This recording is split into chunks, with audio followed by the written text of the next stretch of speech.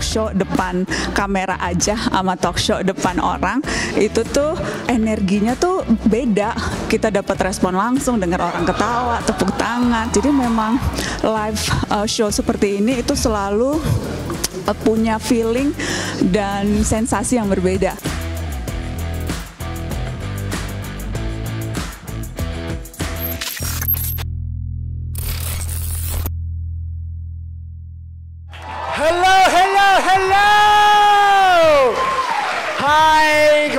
Tetangga-tetangga gue uh, yang gue sayangin dan gue cintain uh, kembali lagi di Daniel tetangga kamu live on stage. Ini beneran sebuah kehormatan banget karena kalian ini by the way new faces. Jadi kalau boleh kalau misalnya ini boleh berkenalan lagi ngelihat ke kiri dan ke kanan, kenalan sama tetangga-tetangganya, ke belakang atau ke depan gitu kan. Uh, tanya nama, ya tanya uh, kerjanya di mana gitu. Abis itu kalau misalnya single ngomong dengan saya single gitu kan. Ya boleh juga gak apa-apa.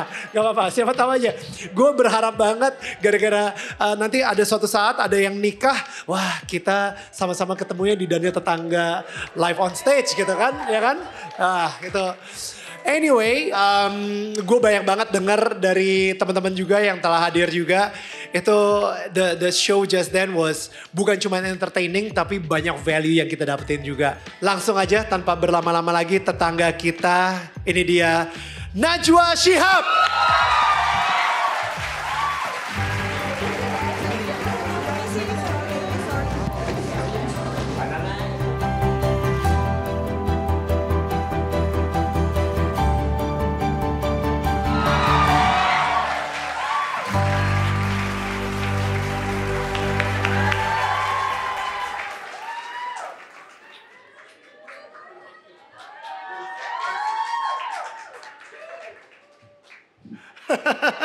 Jangan lupa tag uh, Mbak Nana juga. Mbak Nana, wow, thank you so much. Um, having me. No, no, it's uh, the honor is definitely ours. Um, thank you for gracing us with your presence. Um, kita sebenarnya udah ngomongin ini dari dua tahun yang lalu, teman-teman. Ya beneran loh. Ya, Udah lama banget rencana ya. Udah lama banget. Dua tahun yang lalu uh, itu di acara Pokeri Sweat Bintang SMA. Dan habis itu uh, gue pertama kali ketemu sama Mbak Nana. Gue bilang, Mbak Nana kapan-kapan gue undang ya di Daniel Tetangga Kamu. Ayo boleh. Kita tukar nomor telepon. Eh bulan depan bisa nggak? Oh iya bla bla bla. Uh, ternyata nggak bisa nggak dia bisa. lebih sibuk dari gue. Enak aja. Eh lu sibuk banget. Yang baru interview Chris Martin nggak perlu kayak Oh, gitu juga. Please deh. Masih deg-degan loh kalau diinget-inget masih deg-degan. Gue merasa wibawa gue hilang banget tuh di interview itu. Ya Allah. Seriously, tapi akhirnya uh, tahun lalu akhirnya kita bilang, ayo we have to make this make this, make this happen. Iya. Ya setahun kemudian jadilah Akhirnya. we, we make it happen dan langsung uh, live on stage bersama kalian Iya. semua yang ada di sini gitu. So uh, Mbak Nana, itu rasanya ngobrol sama Chris Martin tuh gimana sih? Sa- uh, maksudnya, come on, ini orang mati-matian sampai bayar 11 juta atau 13 juta untuk nonton Coldplay. Mbak Nana langsung ngobrol sama Chris Martinnya. So what, you know, how? Pokoknya begitu. Jadi awalnya itu kan tadinya kan memang kan wawancaranya jarak jauh. Ya. Dan itu tuh udah dibilangin kalau uh, jam setengah lima waktu California. Ya. Which is di sini tuh jam setengah enam pagi. Jadi dari subuh-subuh dong, gue udah dari jam 3 udah bangun kayak sahur gitu tau gak lo? Jam 3 bangun, jam 4 siap-siap, nyatok rambut sampai ya Allah, rambut gue sampai udah gue catok mulu. Terus habis itu nyampe kantor jam 5, Eh, terus tiba-tiba diundur wawancaranya jadi setengah tujuh. Nggak apa-apa, jadi ada waktu, ya kan? Terus jadi dari jam 6 tuh gue udah duduk tuh di kursi pink yang udah disiapin itu. Yeah. Dari jam 6 udah duduk. Terus ya udahlah nunggu 30 menit dan sebagainya. Terus gue pikir tuh pertama kali keluar tuh bakal yang keluar ya teknisinya Mas Yeah. Chris lah gitu atau Yeah. PR-nya atau siapa gitu. Yeah. Nah kan biasanya kan gitu kan kalau Zoom kan biasanya nggak Yeah. langsung jagoannya dong. Iya, iya, iya, iya. Ya Langsung temen- raja terakhir nih mendadak Iya, gue gue mikir bentar ya Mas Krisnya ada nih, gue pikir bakal gitu. Right. Terus tiba-tiba jeng-jeng langsung Mas Kris di situ. Gue langsung yang deredek. Terus habis itu dia yang halo Najwa. Terus gue yang ya Allah dia tahu nama gue. Chris Martin tahu nama gue, hidup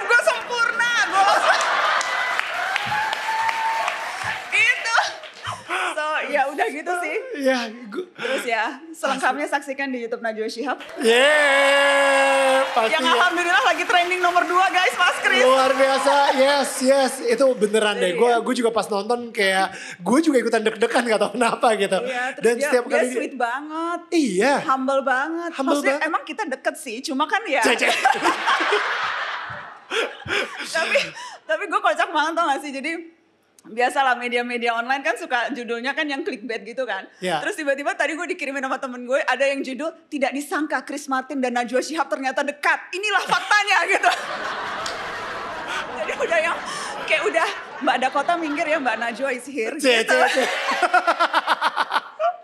Ampun maaf ya maaf gue masih starstruck banget ya Allah. Asli, Mohon maaf, mohon maaf. asli. Dan dia ngomong nama lo, oh iya Najwa, this is like, Iya. oh yeah we'll talk about it Najwa Iya later. ngomong Najwa mulu. Terus Iya. ada bagian penting banget, please jangan di skip. Yang waktu dia bilang gue beautiful. Sumpah demi Allah gue gak bohong dia bilang you look beautiful. Iya. Gue yang astagfirullahaladzim ya Allah.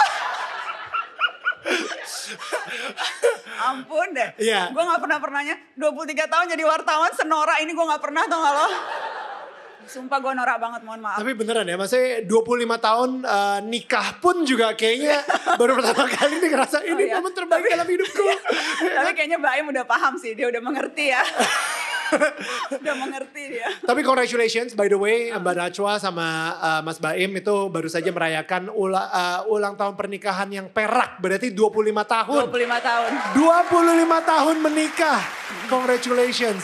Nanti gue gue gue penasaran deh ya. Maksudnya kalau misalnya dikasih tips pernikahan gitu. Ini yang single di sini berapa banyak ya by the way ya? Tolong uh, ya oke. Wow. Wow, oke oke. Sorry, gue pengen dengerin aja deh. Uh, siapa yang single tepuk tangan? Oh my goodness. Gak perlu bangga juga jadi single. gue cuma bilang tepuk tangan deh. Gak perlu bangga juga. Tapi yang sudah menikah berapa orang? Tepuk tangannya mana? Ya. Biasanya lebih tenang kalau yang udah menikah. Karena udah tahu pahit manisnya. Lebih kayak bijaksana gitu kan. ya menikah. mhm, eh. tapi kalau yang em, tips menikah, eh, tips langgengnya 25 tahun. Kalau misalnya dari Mbak Nana sendiri itu apa? Em, apa ya, mungkin punya toleransi yang tinggi. Hmm. Saling mentoleransi gitu menurutku. Hmm. Sama willing untuk nggak menang-menangan sih. Wah itu egonya diturunin banget gitu supaya nggak menang-menangan. Iya nggak menang-menangan dan apa ya harus selalu cari kesamaan. Hmm. Karena tadi aku ceritakan sama Daniel, Hmm. eh, jadi gue tuh nikah muda banget, umur 20 udah nikah. Ya. Dan Najwa 20 tahun lalu dan yang Najwa yang sekarang itu tuh orang yang berbeda. Hmm. Jadi dan Baim juga waktu dia 26 jadi kita beda 6 tahun. Baim 20 tahun yang lalu 25 tahun yang lalu dan sekarang juga yang berbeda. Pengalaman hidup, Ya. Gimana interaksi kita satu sama lain, gimana banyak hal yang terjadi kan yang membuat kita orang yang berbeda ketika kita berkomitmen dulu Ya. sehidup semati Ya. dan harus terus nyari kesamaan, harus terus nyari apa nih yang yang memang bisa bikin orang yang dulunya jatuh cinta bisa jatuh cinta setiap hari pada orang yang sama. Wow. Kan pernikahan gitu kan? Ya. Gimana kita bisa jatuh cinta setiap hari pada orang yang sama? Ya. Dan itu butuh butuh kerja. It takes Hmm. work to make marriage works, iya kan? Ya. Dan apa namanya aku barusan cerita, anakku dua, satu meninggal. Tapi Izat itu sekarang udah kuliah di luar negeri.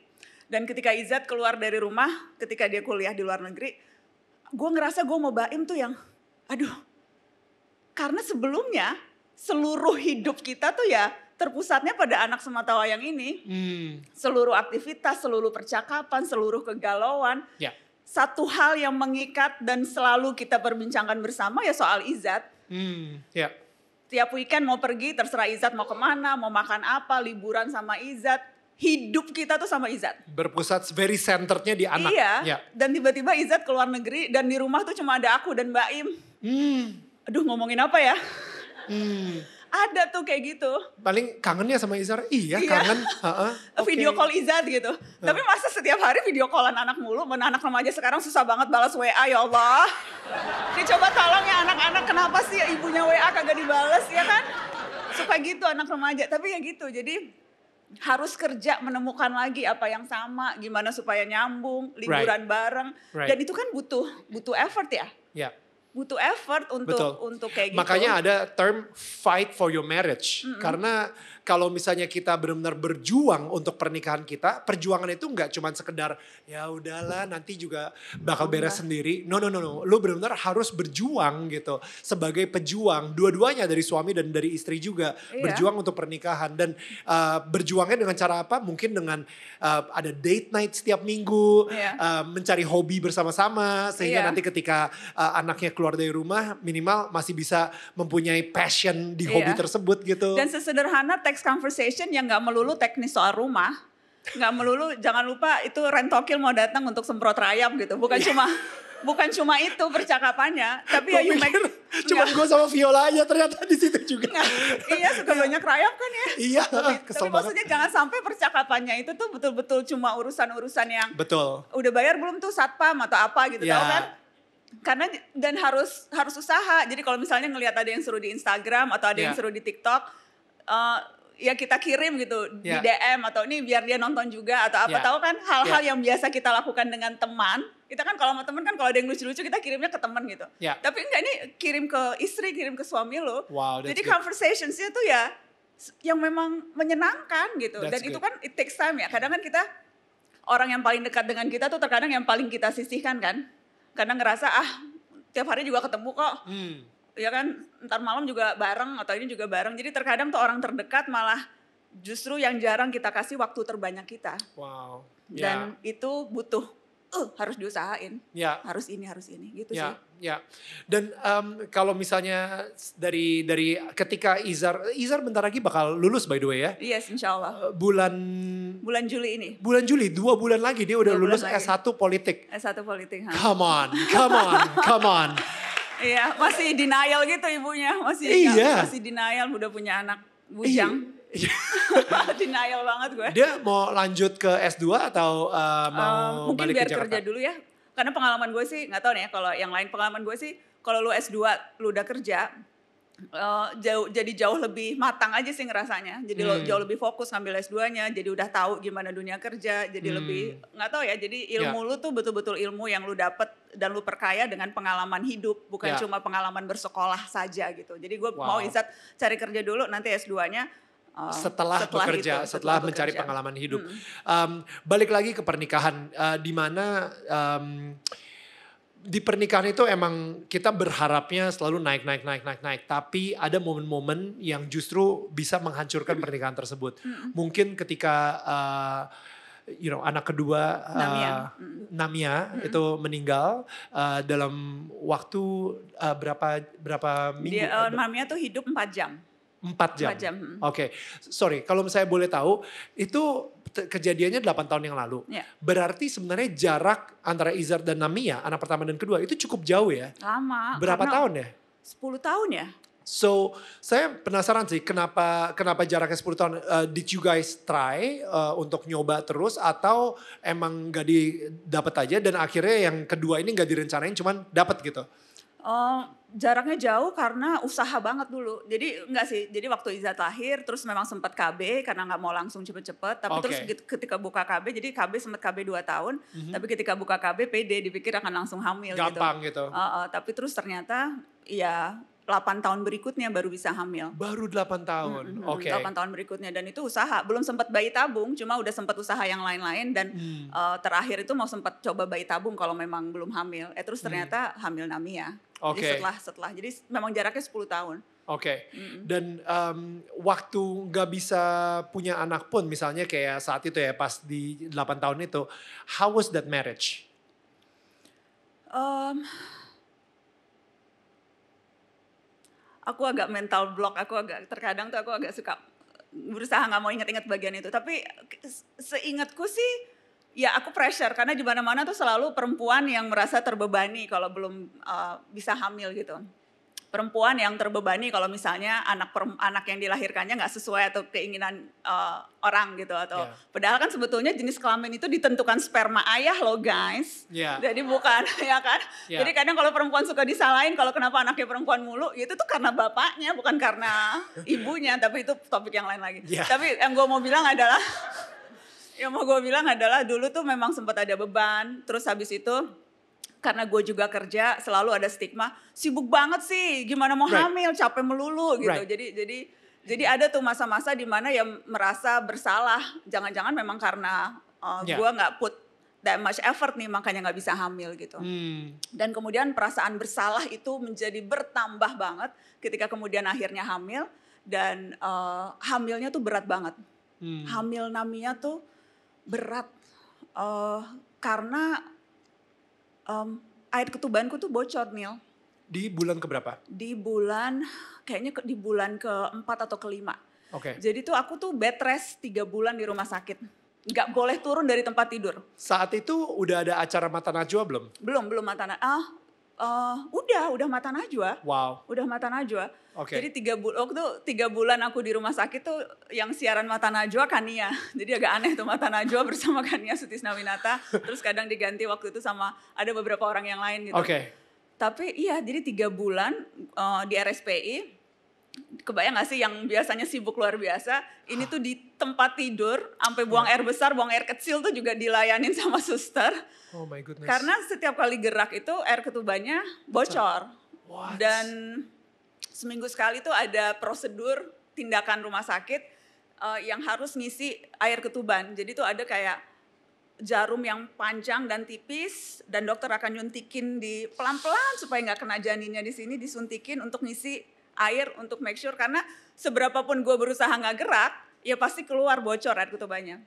Jadi harus ditambal setiap minggu dengan prosedur itu dan Hmm. setiap kali itu ditusukin gue ya Allah mudah-mudahan nggak kena bayinya mudah-mudahan nggak kena bayinya tau Ya, kan ya, karena ya. ya gitu. Ya.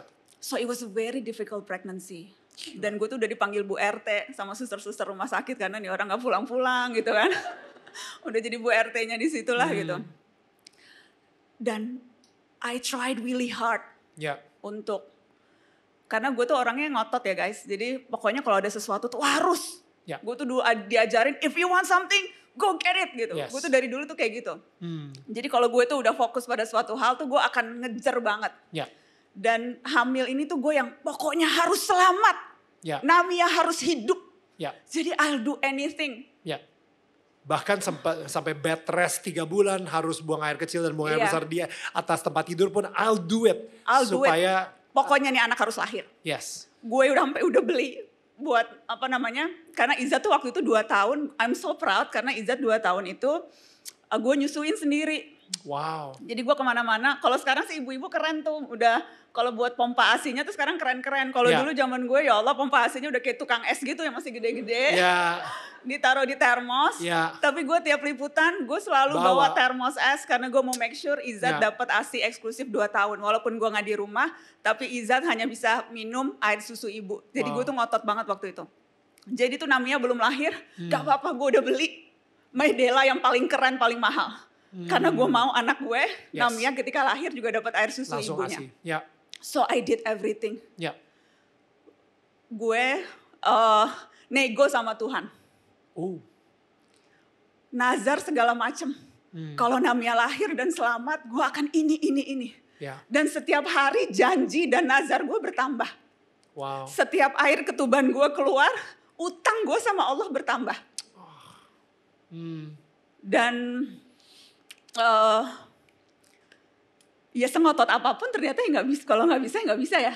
ya Dan eh waktu itu dokter bilang, tadinya mau nunggu sampai 8 bulan. Hmm. Tapi waktu kehamilan ketujuh, terus dokternya bilang, "E, ini kalau dari sisi medis tujuh bulan lahir, itu seharusnya sudah bisa bernafas sendiri jantungnya, paru-parunya sudah cukup kuat. Hmm.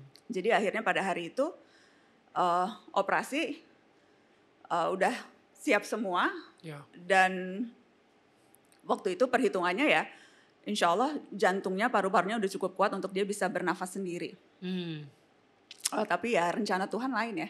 ya Jadi uh, Namia lahir, gue sempat dengar nangisnya, Hmm. sempat ngeliat, cakep banget namanya, Hmm. cakep deh.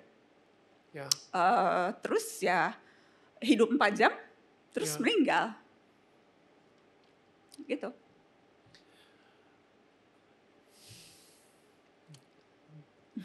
gue gue sendiri juga ngerasa kayak it's it's as if it was just yesterday lo ceritain ini gitu maksudnya Gue gue tuh jarang banget cerita ini sebetulnya.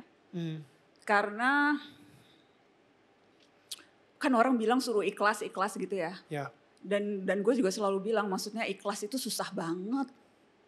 Gampang banget dibilang udah ikhlas. ya Tapi kalau mau jujur sampai sekarang tuh ya nggak ikhlas-ikhlas banget sih. ya ya Dan gue kayak ngerasa berdosa karena ya Allah udah udah segini, udah ini ini gitu. Kok masa belum ikhlas tuh gue jadi kayak ngerasa.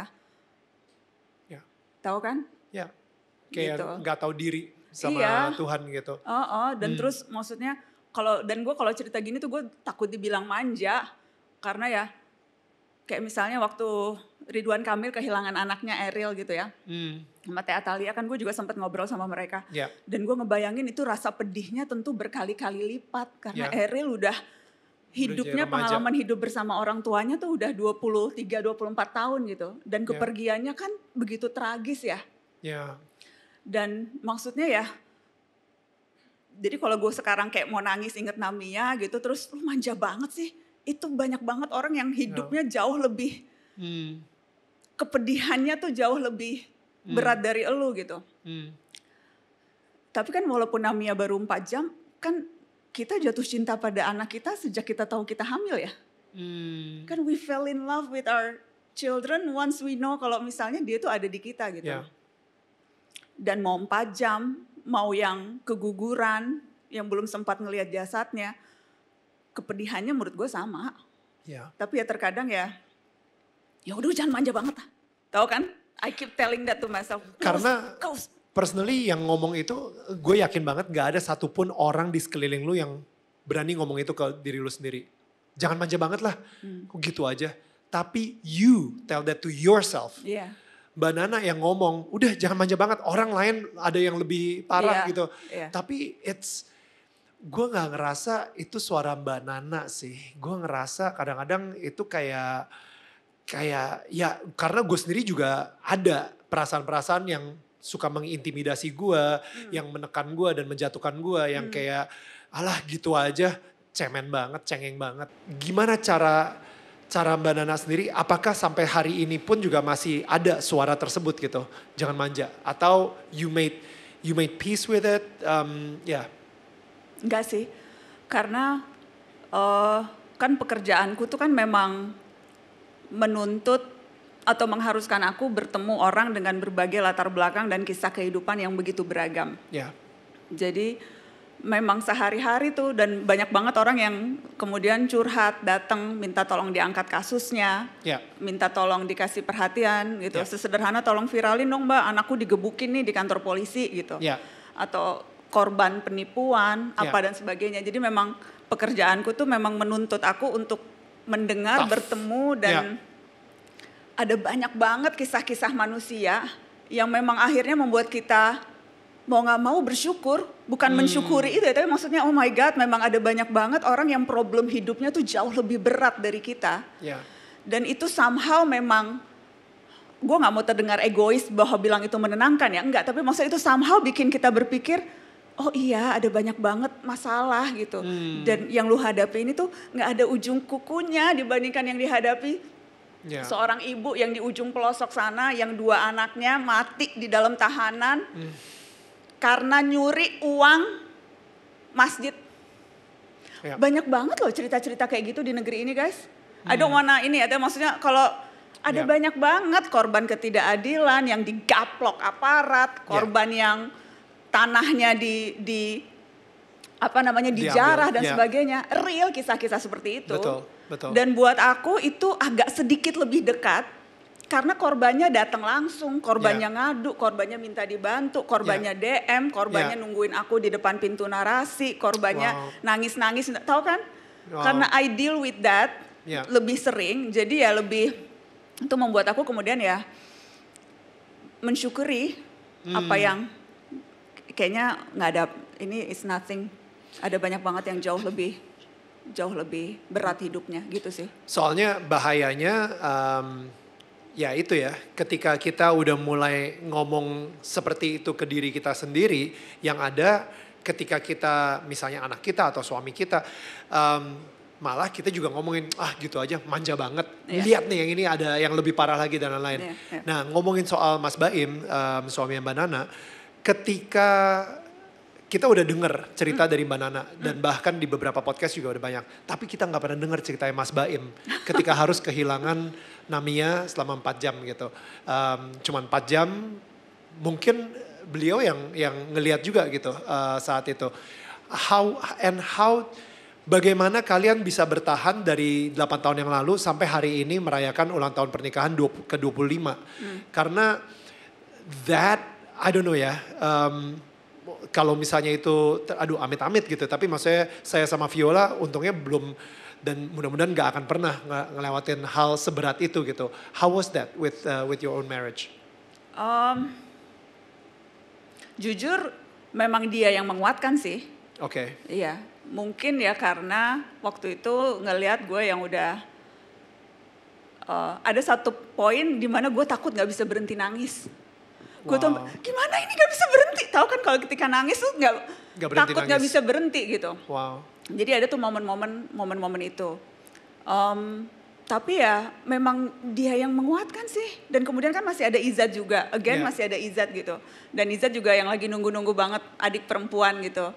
Jadi ya Baim dan Izat sih. Dan mungkin kadang ngelihat aku juga. Yeah. Ngelihat aku kayaknya berusaha ngejaga perasaan gitu Yeah, kan. Nih the yeah. boys trying to protect uh, Wow.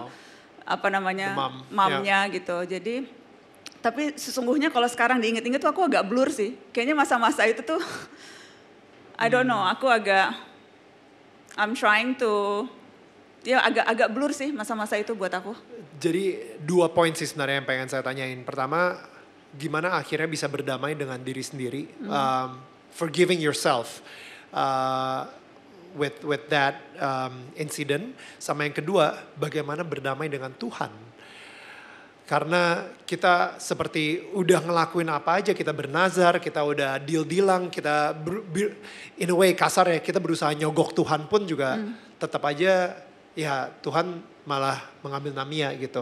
Jadi bagaimana uh, akhirnya bisa berdamai dengan Tuhan? Yang pertama dengan diri sendiri deh, dengan Mbak Nana. Um, Healingnya seperti apa?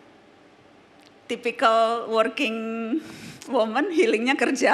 Wow, ya. kerja dan Ya. sejak itu kayaknya mata Najwa take off-nya tuh sejak itu deh karena I put every energy in in my work gitu ya. Wow, Um, so ya itu. Oke. Terus pada waktu itu tuh juga aku uh, secara struktural di Metro TV uh, aku jadi wakil pemimpin redaksi. Jadi kerjaannya jadi tambah banyak banget juga gitu ya Ya. karena ngurusin dohor redaksi. Terus waktu itu pemilu jadi ngurusin pemilu apa dan sebagainya. Jadi oke. uh, ya Itu gitu. healingnya It- kerja. Ya. which is sebetulnya mungkin nggak disarankan ya. Tapi itu opsi yang ada saat itu adalah mencurahkan energi di kerja. Sama aku jadi jauh lebih cautious terhadap uh, kesehatan. Hmm, Itu pertama kali aku jadi punya membership gym tuh ketika itu. hmm, Niatannya waktu itu untuk uh, pertama niatannya tuh sesederhana mau kurus gitu. Ya. Karena uh, kalau lu gemuk setelah melahirkan tapi ada anak tuh nggak apa-apa. Lu gemuknya buat anak gitu kan. Lu nyusuin ya memang lu harus gemuk untuk nyusuin. Ini udah anaknya meninggal, lu masih jadi tahu kan jadi itu energi itu aku curahkan juga to get back in shape gitu. Aku Right. olahraga, aku ke gym, aku ini. Right. Em, sama ya itu terus menerus yang sampai sekarang aku lakukan tuh belajar tawakal, belajar artinya apa tuh? Tawakal itu kata Abi itu dari kata wakilu dan yakilu, mewakilkan, Oke. diwakilkan. Jadi kalau kita tawakal itu kita menyerahkan urusan kita minta diwakilkan kepada Tuhan. Oke, Eh, tapi kata Abi bedanya kalau minta perwakilan manusia sama perwakilan Tuhan, perwakilan manusia tuh kita biasanya ya udah terserah lu deh wakilnya lu melakukan apa pun gitu udah udah gua wakilin you do what Yeah. you have to do gitu. Yeah. Tapi kalau kita minta urusan kita diwakili oleh Tuhan, it doesn't work terserah Tuhan, maksudnya we, we have to put the effort juga ya, harus ada effortnya And then to some extent kita serahkan ke Tuhan biar Tuhan yang mewakili urusan-urusan kita. Wow, oke. Jadi jadi that's what I'm trying to do gitu Ya. maksudnya. um, Tapi untuk- kalau untuk bisa sampai ada di tahap itu harus bisa berdamai dulu dengan Tuhan kan. Uh, Iya. Pernah gak sih Mbak Nana kayak mm, uh, marah sama Tuhan um, dan bagaimana akhirnya kalau misalnya pernah bagaimana akhirnya bisa berdamai dengan Tuhan? Um, Abi selalu ngulang-ngulang ini dari dulu. Um, sebetulnya dan Abi juga bilang kita tuh sering kali berprasangka buruk pada Tuhan. Hmm, Dan itu dosa pertama manusia. Katanya dosa pertama Adam tuh sehingga Ya. kemudian akhirnya ia turun ke bumi itu karena dia berprasangka buruk pada Tuhan. wow. Padahal Tuhan itu maha baik, maha mencintai umatnya Ya. Dan selalu mau menerima cinta umatnya. Hmm, Jadi prasangka baik sama Tuhan gitu. hmm, Jadi ketika ada sesuatu yang rasanya nggak sesuai keinginan kita, kalau kita suuzon nih berprasangka buruk sama Tuhan, kita selalu merasa memang ini karena kita berdosa, kita dihukum. ya. Karena mungkin kebanyakan nonton film sinetron-sinetron yang azab dalam kubur itu loh, tahu kan? Gue suka prihatin banget tuh.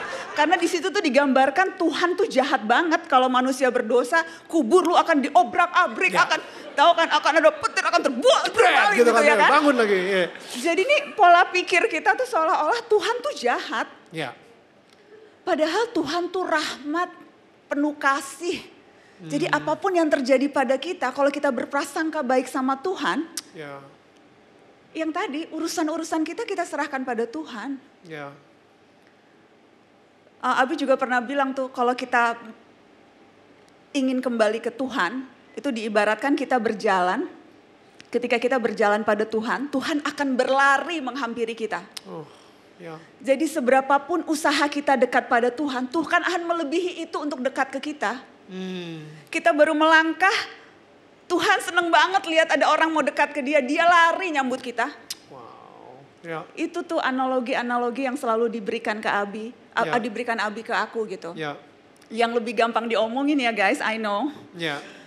Tetapi pemahaman itu tuh bikin jadi apa ya? Merasa secure gitu, tahu kan?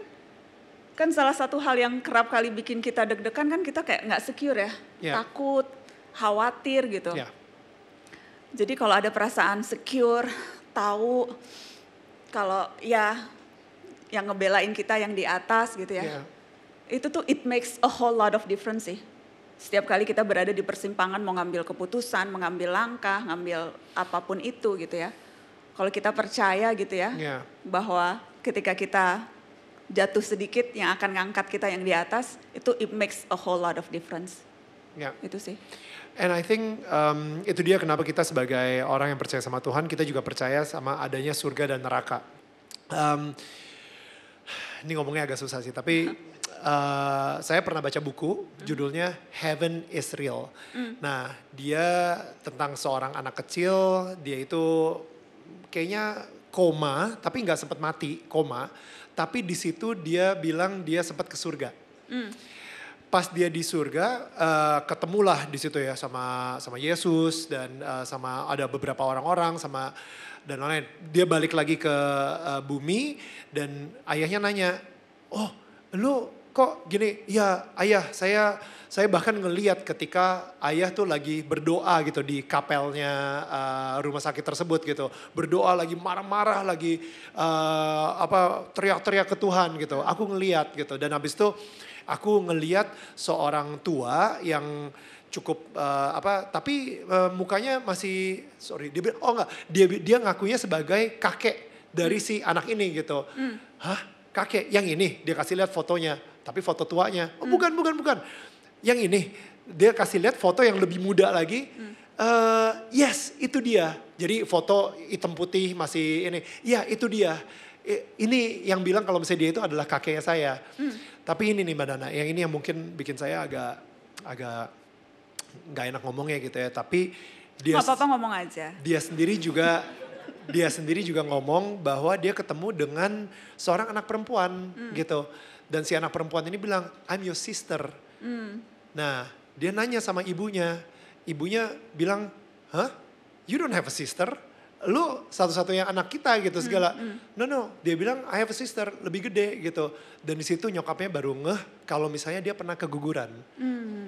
Dan anaknya pun juga, uh, huh, gue ngomongnya juga udah hampir mau nangis nih karena gue ngerasa sekarang ini Namia pun juga di surga udah 8 tahun, udah damai, tidak merasakan kesakitan gitu sama Tuhan. Dan itu yang mungkin bisa memberikan kita harapan, bisa memberikan kita kekuatan bahwa ya itulah cintanya Tuhan gitu.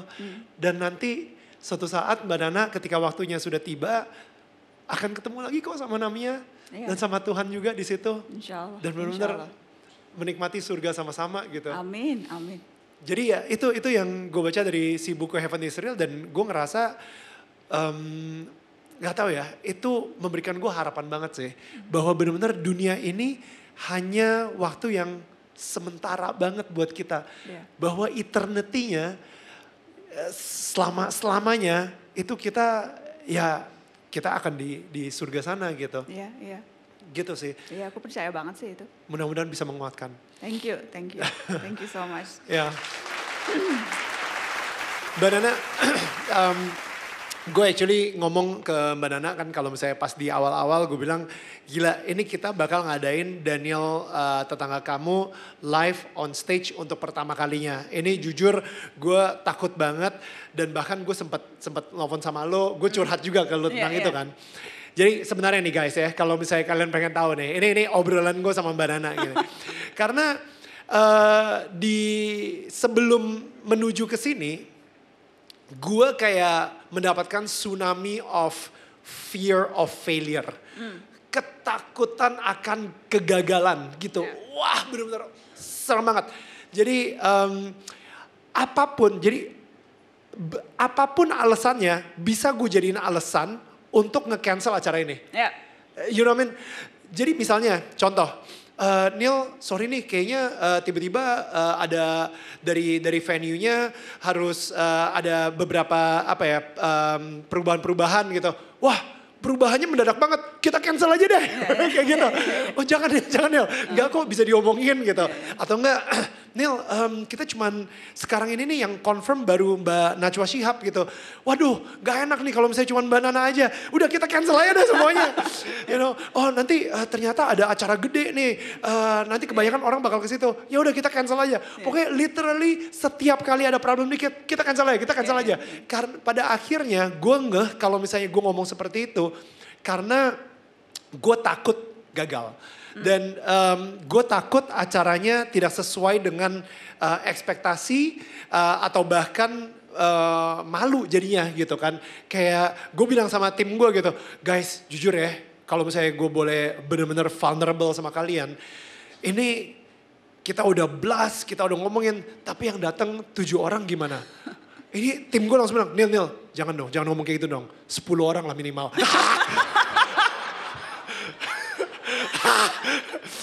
Tapi dia dia bilang gak lah Neil, bisa lah, bisa lah. It's okay kok, it's okay kok gitu.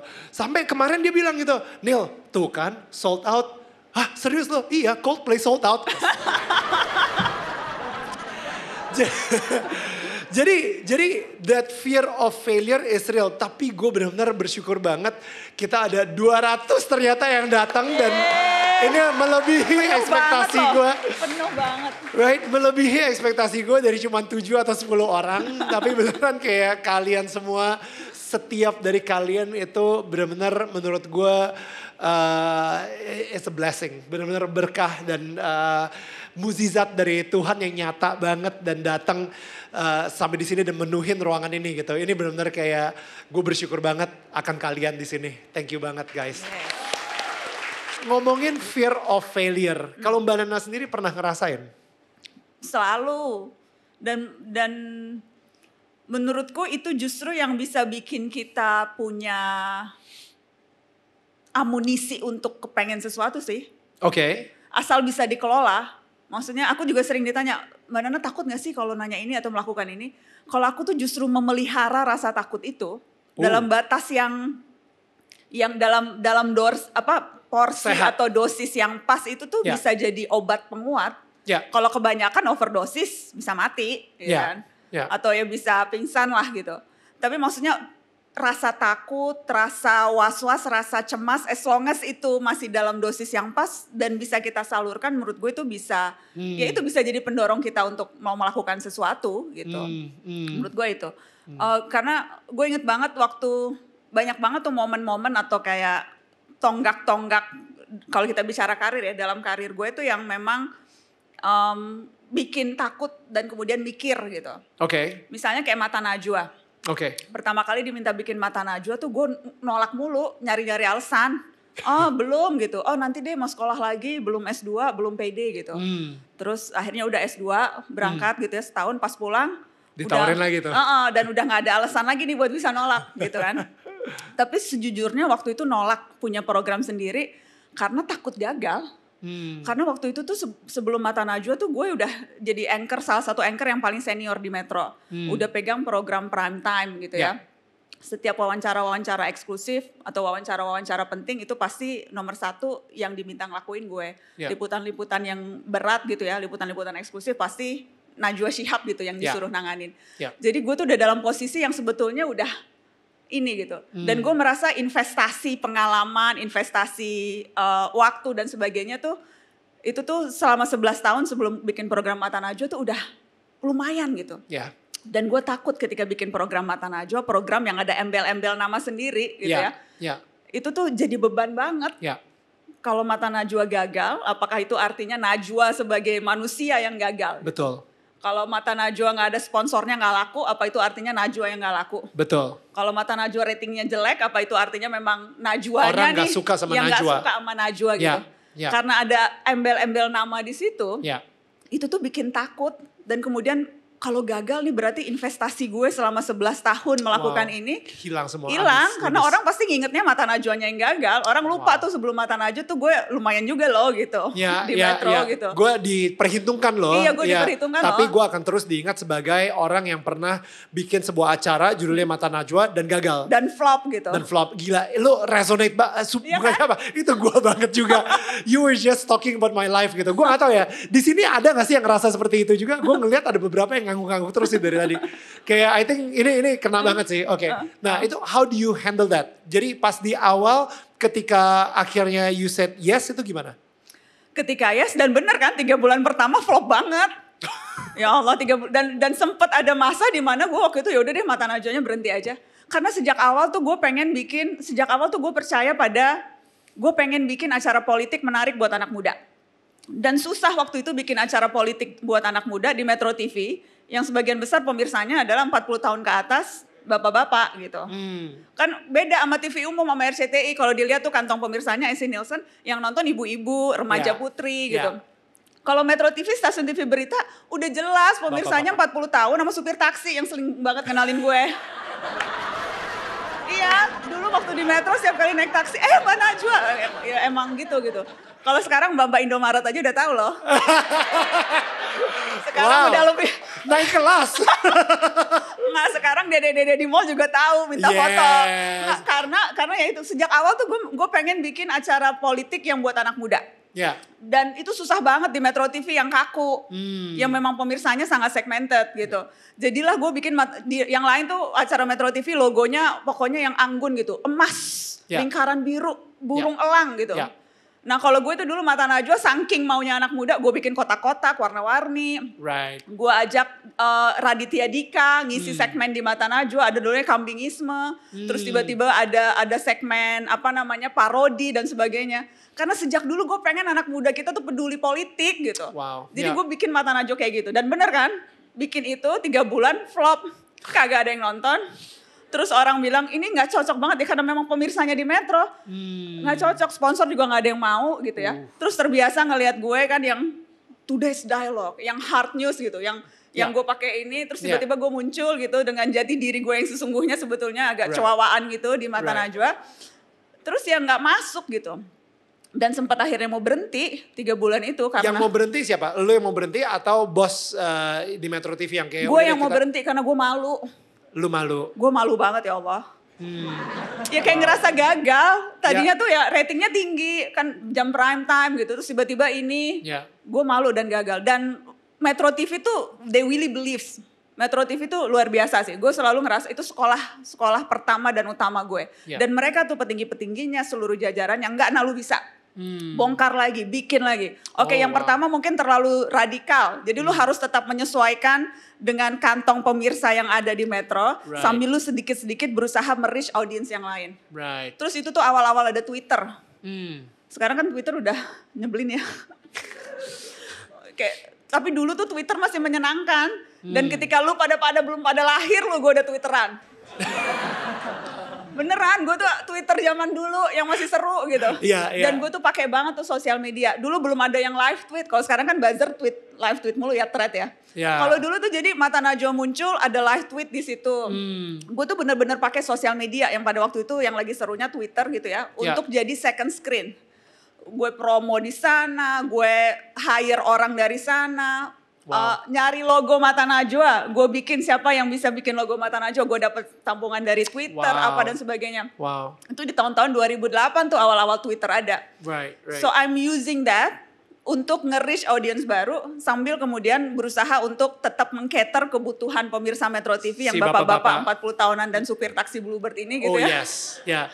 Belum Chris Martin belum lah saat Oh, itu. ya? belum. Belum. Belum. Itu baru Belum kemarin dong, soalnya. Mas Chris belum masuk. belum. Belum. Belum. Ya. tapi ya itu. Ya. Tapi maksudnya back to your question, ya sempet takut, gagal dan memang akhirnya gagal. Tapi terus ya support system dan Wow. dan nyari cara gimana cari caranya gue tetap bisa memenuhi idealisme gue untuk bikin acara buat anak muda. Tapi di sisi lain ini juga tetap bisa hidup dan viable gitu. Jadi Wow. Hmm. cari cara untuk itu. And it takes time, it takes effort, it takes a lot of creativities, and it takes a lot of teamwork. Dan gitu. sampai akhirnya Mata Najwa sekarang kalau misalnya di udah sekarang nih tayangnya di mana ya by the way? Di channel YouTube aja atau digital ya, hanya digital, digital. aja, hanya digital ya. Kemarin tuh kan Digital. sempat uh, pindah TV juga dan lain-lain. Tapi Iya, berarti Mata sebetulnya, Najwa udah sebetulnya tuh transisinya adalah ketika terus Mata Najwa, terus karena aku keluar dari Metro, ya, aku keluar dari Metro untuk bikin narasi. ya. Dan di narasi kita salah satu programnya Mata Najwa, ada banyak program yang lain. Dan kemudian di narasi kita sempat kolaborasi sama Trans 7. Right. Oh, makanya muncul di Trans 7 Uh, Muncul juga. di Trans 7, kolaborasi Trans 7. Tapi memang sejak awal tuh memang eh, gue tuh kepengen Mata Najwa adanya di digital. Hmm. Karena sesungguhnya beda sih audiens digital sama audiens di TV. Ya. Dan ketika kita berada di TV pun harus ada kompromi-kompromi yang dilakukan Ya. supaya em, ya sesuai dengan Essie Nielsen, Oh ya. sesuai dengan rating TV gitu ya. Ya. Eh, yang sesungguhnya tuh sebetulnya sangat beda isu-isu yang kita mau mainkan gitu. Terkadang Oh. ada isu yang kita rasa ini menarik nih, oh tapi ini nggak TV gitu. Right. Jadi dari sebetulnya sejak tahun 2002 eh, 2020 tuh kita tuh kepengen udah kita mau fokus di digital aja. Ya. Tapi terus waktu itu pandemi dan pandemi mengubah banyak rencana. Salah satunya akhirnya kemudian kita memutuskan oke kita dua tahun lagi di TV dan Hmm. kemarin persis tahun lalu itu kemudian kita alhamdulillah bisa Full, fokus di 100% digital, digital. dan cater benar-benar kepentingan eh, dan apa namanya memang Wow. apa yang eh, audiens muda digital butuhkan itu sih. Untuk keluar dari Metro TV dan memulai narasi, itu ada fear of failure juga atau enggak? Ya Allah, gue turun 4 kilo. Nggak bisa tidur. Itu ini banget. Itu itu bold banget by the way. Maksudnya lu udah ada satu comfort zone Metro TV dan sekarang you wanna make your own eh, narasi gitu. Iya. Dan eh, saat itu of course eh, subscribernya belum seperti sekarang. 200 gue inget. Dua- Pertama kali 200 bukan orang. Itu 200 subscriber. Oh my goodness. Sekarang by the way udah berapa? Sekarang 9 juta sekian ya. Wuh. Iya, 9 juta sekian. Di, di YouTube aja ya. Ya, ya. Kalau total 60 juta ya. Oh, so, Dua kalinya Coldplay. sombong banget gue maaf ya gue aslinya nggak sombong kok nggak nggak gue nggak sombong nggak Iya, iya, iya. tapi iya ha. Gak apa-apa, boleh kok. boleh ya ini bagian ini diedit aja ya Rasanya gue sombong banget itu. Gak apa-apa, boleh congkak di sini. Tapi eh, gimana? Eh, boleh ceritain nggak ketika lu cabut dari Metro TV dan memulai narasi, what um, inner dialognya seperti apa? Ketakutan-ketakutannya dan lain-lain. Um, misalnya, ini kan Metro tuh udah jelas, lu udah gue gak tahu sistem kerjasama gimana, apakah digaji atau di mata Najwa sendiri lu dapat royalty dari whatever bla bla bla. Cuman ini sepertinya udah comfort zone banget kan comfort zone banget. Udah merem 50 tahun lagi juga udah aman gitu. And yet lu ngambil sebuah resiko besar dan memulai narasi. Iya. What uh, and that's and it's crazy. Tapi emang hanya orang-orang yang berinovasi and what I call innovators ya would would be bold enough to do this gitu. Karena nggak semua orang berani berinovasi.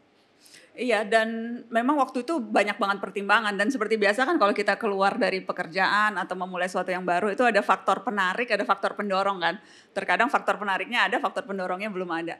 Dan pada saat itu di Metro kok dua-dua momen itu ketika gue memutuskan untuk bikin perusahaan sendiri itu baik faktor penarik dan pendorong tuh dua-duanya ketemu dan kemudian akhirnya itu yang membuat langkah semi mantap. Kalau ditanya kapan mantapnya sesungguhnya nggak pernah mantep-mantep banget sih ketika ngambil Right. keputusan itu selalu ada mem- eh, deg-degannya gitu.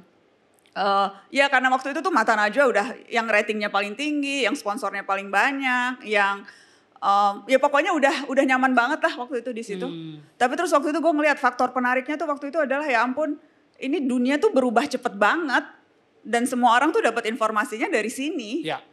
Dan sekali lagi dari dulu visi misi gue, gue pengen anak muda tercerahkan. Anak muda tuh di sini, anak muda kagak ada yang nonton TV, masih ada yang nonton TV. Jarang kan? Wow. Kalaupun TV-nya dipakai untuk nonton YouTube gitu kan. Ya. Jadi TV-nya tuh hanya sebagai ini, nontonnya Netflix, Disney, Ya. atau apa pun gitu. Jadi Ya. hanya sebagai alat gitu, Alat. sebagai mesin gitu. Ya. Kecuali Indonesian Idol ditonton ya, gue salah ngomong ya. Bukan gue yang hostnya nggak apa-apa. Dulu, oh udah bukan lu ya? Udah bukan Nggak gua. usah, oh ya. Nggak tetap nonton, tetap nonton. Boy William bagus kok. Come on. lagi. Tapi enggak, sebagian besar orang Indonesia masih nonton TV, of course. Ya, sebagian ya, ya. besar. di Tapi luar kota kota metropolitan, yes. masih nonton TV. Tapi again, yang gua incer tuh kalian, anak-anak muda yang cerdas, yang pintar, yang bisa memilih memilah informasi, yang hidupnya dari sini. Yang gua incer tuh lulu pade. Dan Ya. lulu pade tuh adanya di sini. Ya. Jadi kalau gue mau relevan, kalau gue mau deket sama lulu pade, ya gue harus ada di sini juga. Wow. Dan itu akhirnya ya kalau gue terus di TV melakukan hal yang ini, I Ya. would never reach you guys. Gue nggak mungkin bisa bisa berada Gak bahagia ya, gak cukup bahagianya dikenal sama semua supir Bluebird. kurang. Kalau dede-dede nggak nyapa tuh kurang. Tapi iya gitu dan akhirnya Ya. itu. Tapi ragu banget karena waktu itu kan ketika memutuskan keluar, uh, akhirnya kan yang memutuskan keluar bukan cuma aku tapi seluruh tim Mata Najwa. Hmm. Dan itu tuh deg-degan banget karena gue takut gimana caranya gue bisa menghidupi mereka. Waktu itu tuh belum jelas loh. Perusahaannya belum ada, baru angan-angan, baru yang berda- berbe- Wow. berbekal, Wow. nekat, dan berbaik sangka pada Tuhan tadi gitu. Wow. Bikin narasi. Hmm. Sementara ini orang-orang Mata Najwa yang ikut gue tuh juga jurnalis-jurnalis senior yang udah 10 tahunan lebih karirnya. Hmm. Tapi kemudian percaya mau keluar dari Metro dan sama-sama bikin Wah gila. bikin hal yang baru. Dan gue tuh tiap malam tuh gue nggak bisa tidurnya adalah karena gue kepikiran kalau gue nggak bisa gaji 10 Ya. orang yang ikut gue ini gitu. Ya, ya. Takut nggak bisa bayar gaji mereka gitu. Ya. Gue merasa bertanggung jawab pada teman-teman Mata Najwa yang udah put their Hmm. faith on me gitu. Wow. Yang juga punya anak istri Ya. yang harus bayar cicilan KPR juga. Tapi maksudnya decided to quit and join me gitu. Blank kayak cek kosong aja gitu karena percaya. Gila. Jadi itu sih yang bikin yang bikin gue turun 4 kilo dan rambut rontok tuh karena itu. Ya, ya. Ya, Di di awal-awal narasi tapi eh, apa sulit, Em, penuh dengan kesulitan, penuh dengan challenges. gue mau jujur, rasanya yang gue alamin nggak itu nggak seberat teman-teman entrepreneur alami lainnya. Oke. Karena walaupun gue baru bikin narasi, tapi pengalaman mata Najwa dan orang udah tahu Najwa Shihab, Ya, itu tuh itu modal juga. right. Itu modal untuk meyakinkan orang mau kolaborasi, modal untuk meyakinkan sponsor karena tahu track record, rekam jejak dan sebagainya. Ya. Jadi kalau kalau dibilang mulai dari nol, jujur gue nggak mulai dari nol Hmm. karena udah ada bekal pengalaman itu gitu. Jadi Ya. gue nggak mau bilang wah mulai dari nol berdarah-darah nggak juga. Right. Gue punya privilege itu guys. Gue Ya. punya nama, Ya. gue punya keluarga, Hmm. gue punya suami yang tetap bayarin hidup gue gitu. Kalau misalnya sampai Kalau misalnya sampai nggak ada apa-apa ya, ya udah gue udah ya. nggak usah kerja, bayim aja kan dia lawyer, ya udah dia aja deh yang nanggung hidup gue gitu. Jadi Ya. ada security itu gitu. Hmm. Jadi gue privilege, jadi Ya. gue nggak mau nyamain sama entrepreneur yang memang betul-betul susah banget meyakinkan orang karena alhamdulillah gue masih punya modal lain yang bisa gue bawa untuk bangun narasi gitu Wow. sih. Ya ya ya. Jadi itu itu minimal kayak lu yes lu nyemplung tapi tetap ada pelampungnya. Ada pelampungnya, ada Right. pelampungnya. Right. Gue emang sering banget maksudnya setiap kali gue ngelihat lu wawancara seseorang dan lain-lain gitu ya itu keren sih keren sih. Maksudnya eh, pertanyaan-pertanyaan lu is very sharp orang tuh sampai gelagapan dan lain-lain gitu kalau misalnya ngomong. Dan I think eh, apa ya Kecuali eh, Mas Kris dia yang bikin aku gelagapan. ya Aku kayaknya move on-nya akan lama deh ini sama Mas Kris, maaf ya. Kayaknya bulan depan gue masih Mas Kris, Mas Kris. Oh enggak, sampai dia datang November, ya Allah masih 6 bulan lagi ya tuh. Iya, sampai sampai dia datang nanti kita bakal ngeliat sih lo foto-fotoan sama dia segala kayak Aduh gitu. itu pressure banget. Soalnya banyak banget yang terus langsung susun. Pasti lo langsung dapet tiket ya gitu. Iya. Pasti gak usah ikut tiket war ya. Iyalah. Demi Allah gue kemarin tiket war juga. Demi Allah. Oh. Aku tetap usaha juga kemarin. Gak berhasil tetap. Oh tetap. Ah. Iya ya. Oke oke. Iya, Pengalamannya ayo. banyak lah seperti, orang-orang awam pada umumnya ya. Iya ngikut juga gue. Gue kira dapat privilege celebrity gitu enggak, Enggak, ya? enggak. Oke. That's good, that's good. Sebel. Sebel. Nggak, soalnya orang tuh langsung yang ini pasti, udah pasti banget. Iya, gue juga assume-nya kayak gitu, Iya udah kan? pasti dapat Lu VIP berburuk lah. sangka pada gue. Aduh. Ya aja. Tapi ngomongin, ya itu dia, ngomongin oh, berani ngomongin eh, ke politician, politician yang kadang-kadang dia sendiri, oke, kita tadi sempat ngobrol di backstage gitu. Indonesia ini bukan di Indonesia, bahkan di dunia kita nggak pernah diajarin bagaimana caranya handle power. Gue ngeliat em, contoh gitu ya, eh, kalau kalau misalnya di Alkitab dibilang kalau misalnya lu pengen ngetes seberapa eh, jernihnya sebuah perak, taruh itu di api. Tapi kalau misalnya lu pengen tahu seberapa eh, jernihnya hati manusia, taruh dia di ketenaran, di di fame, di kas, berikan dia kuasa, berikan dia power gitu. Nah, gue ngeliat ketika seseorang di Indonesia atau ya di di mana-mana gitu ya. Tapi sekarang ini gue cuma ngomongin di Indonesia aja. Dia udah pakai baju seragam. Seragamnya itu memberikan dia sebuah power, sebuah otoritas. Em, atau bahkan jabatan. Jabatan itu dia kenapa orang bisa gila jabatan karena dia tahu jabatan ini akan memberikan dia sebuah power.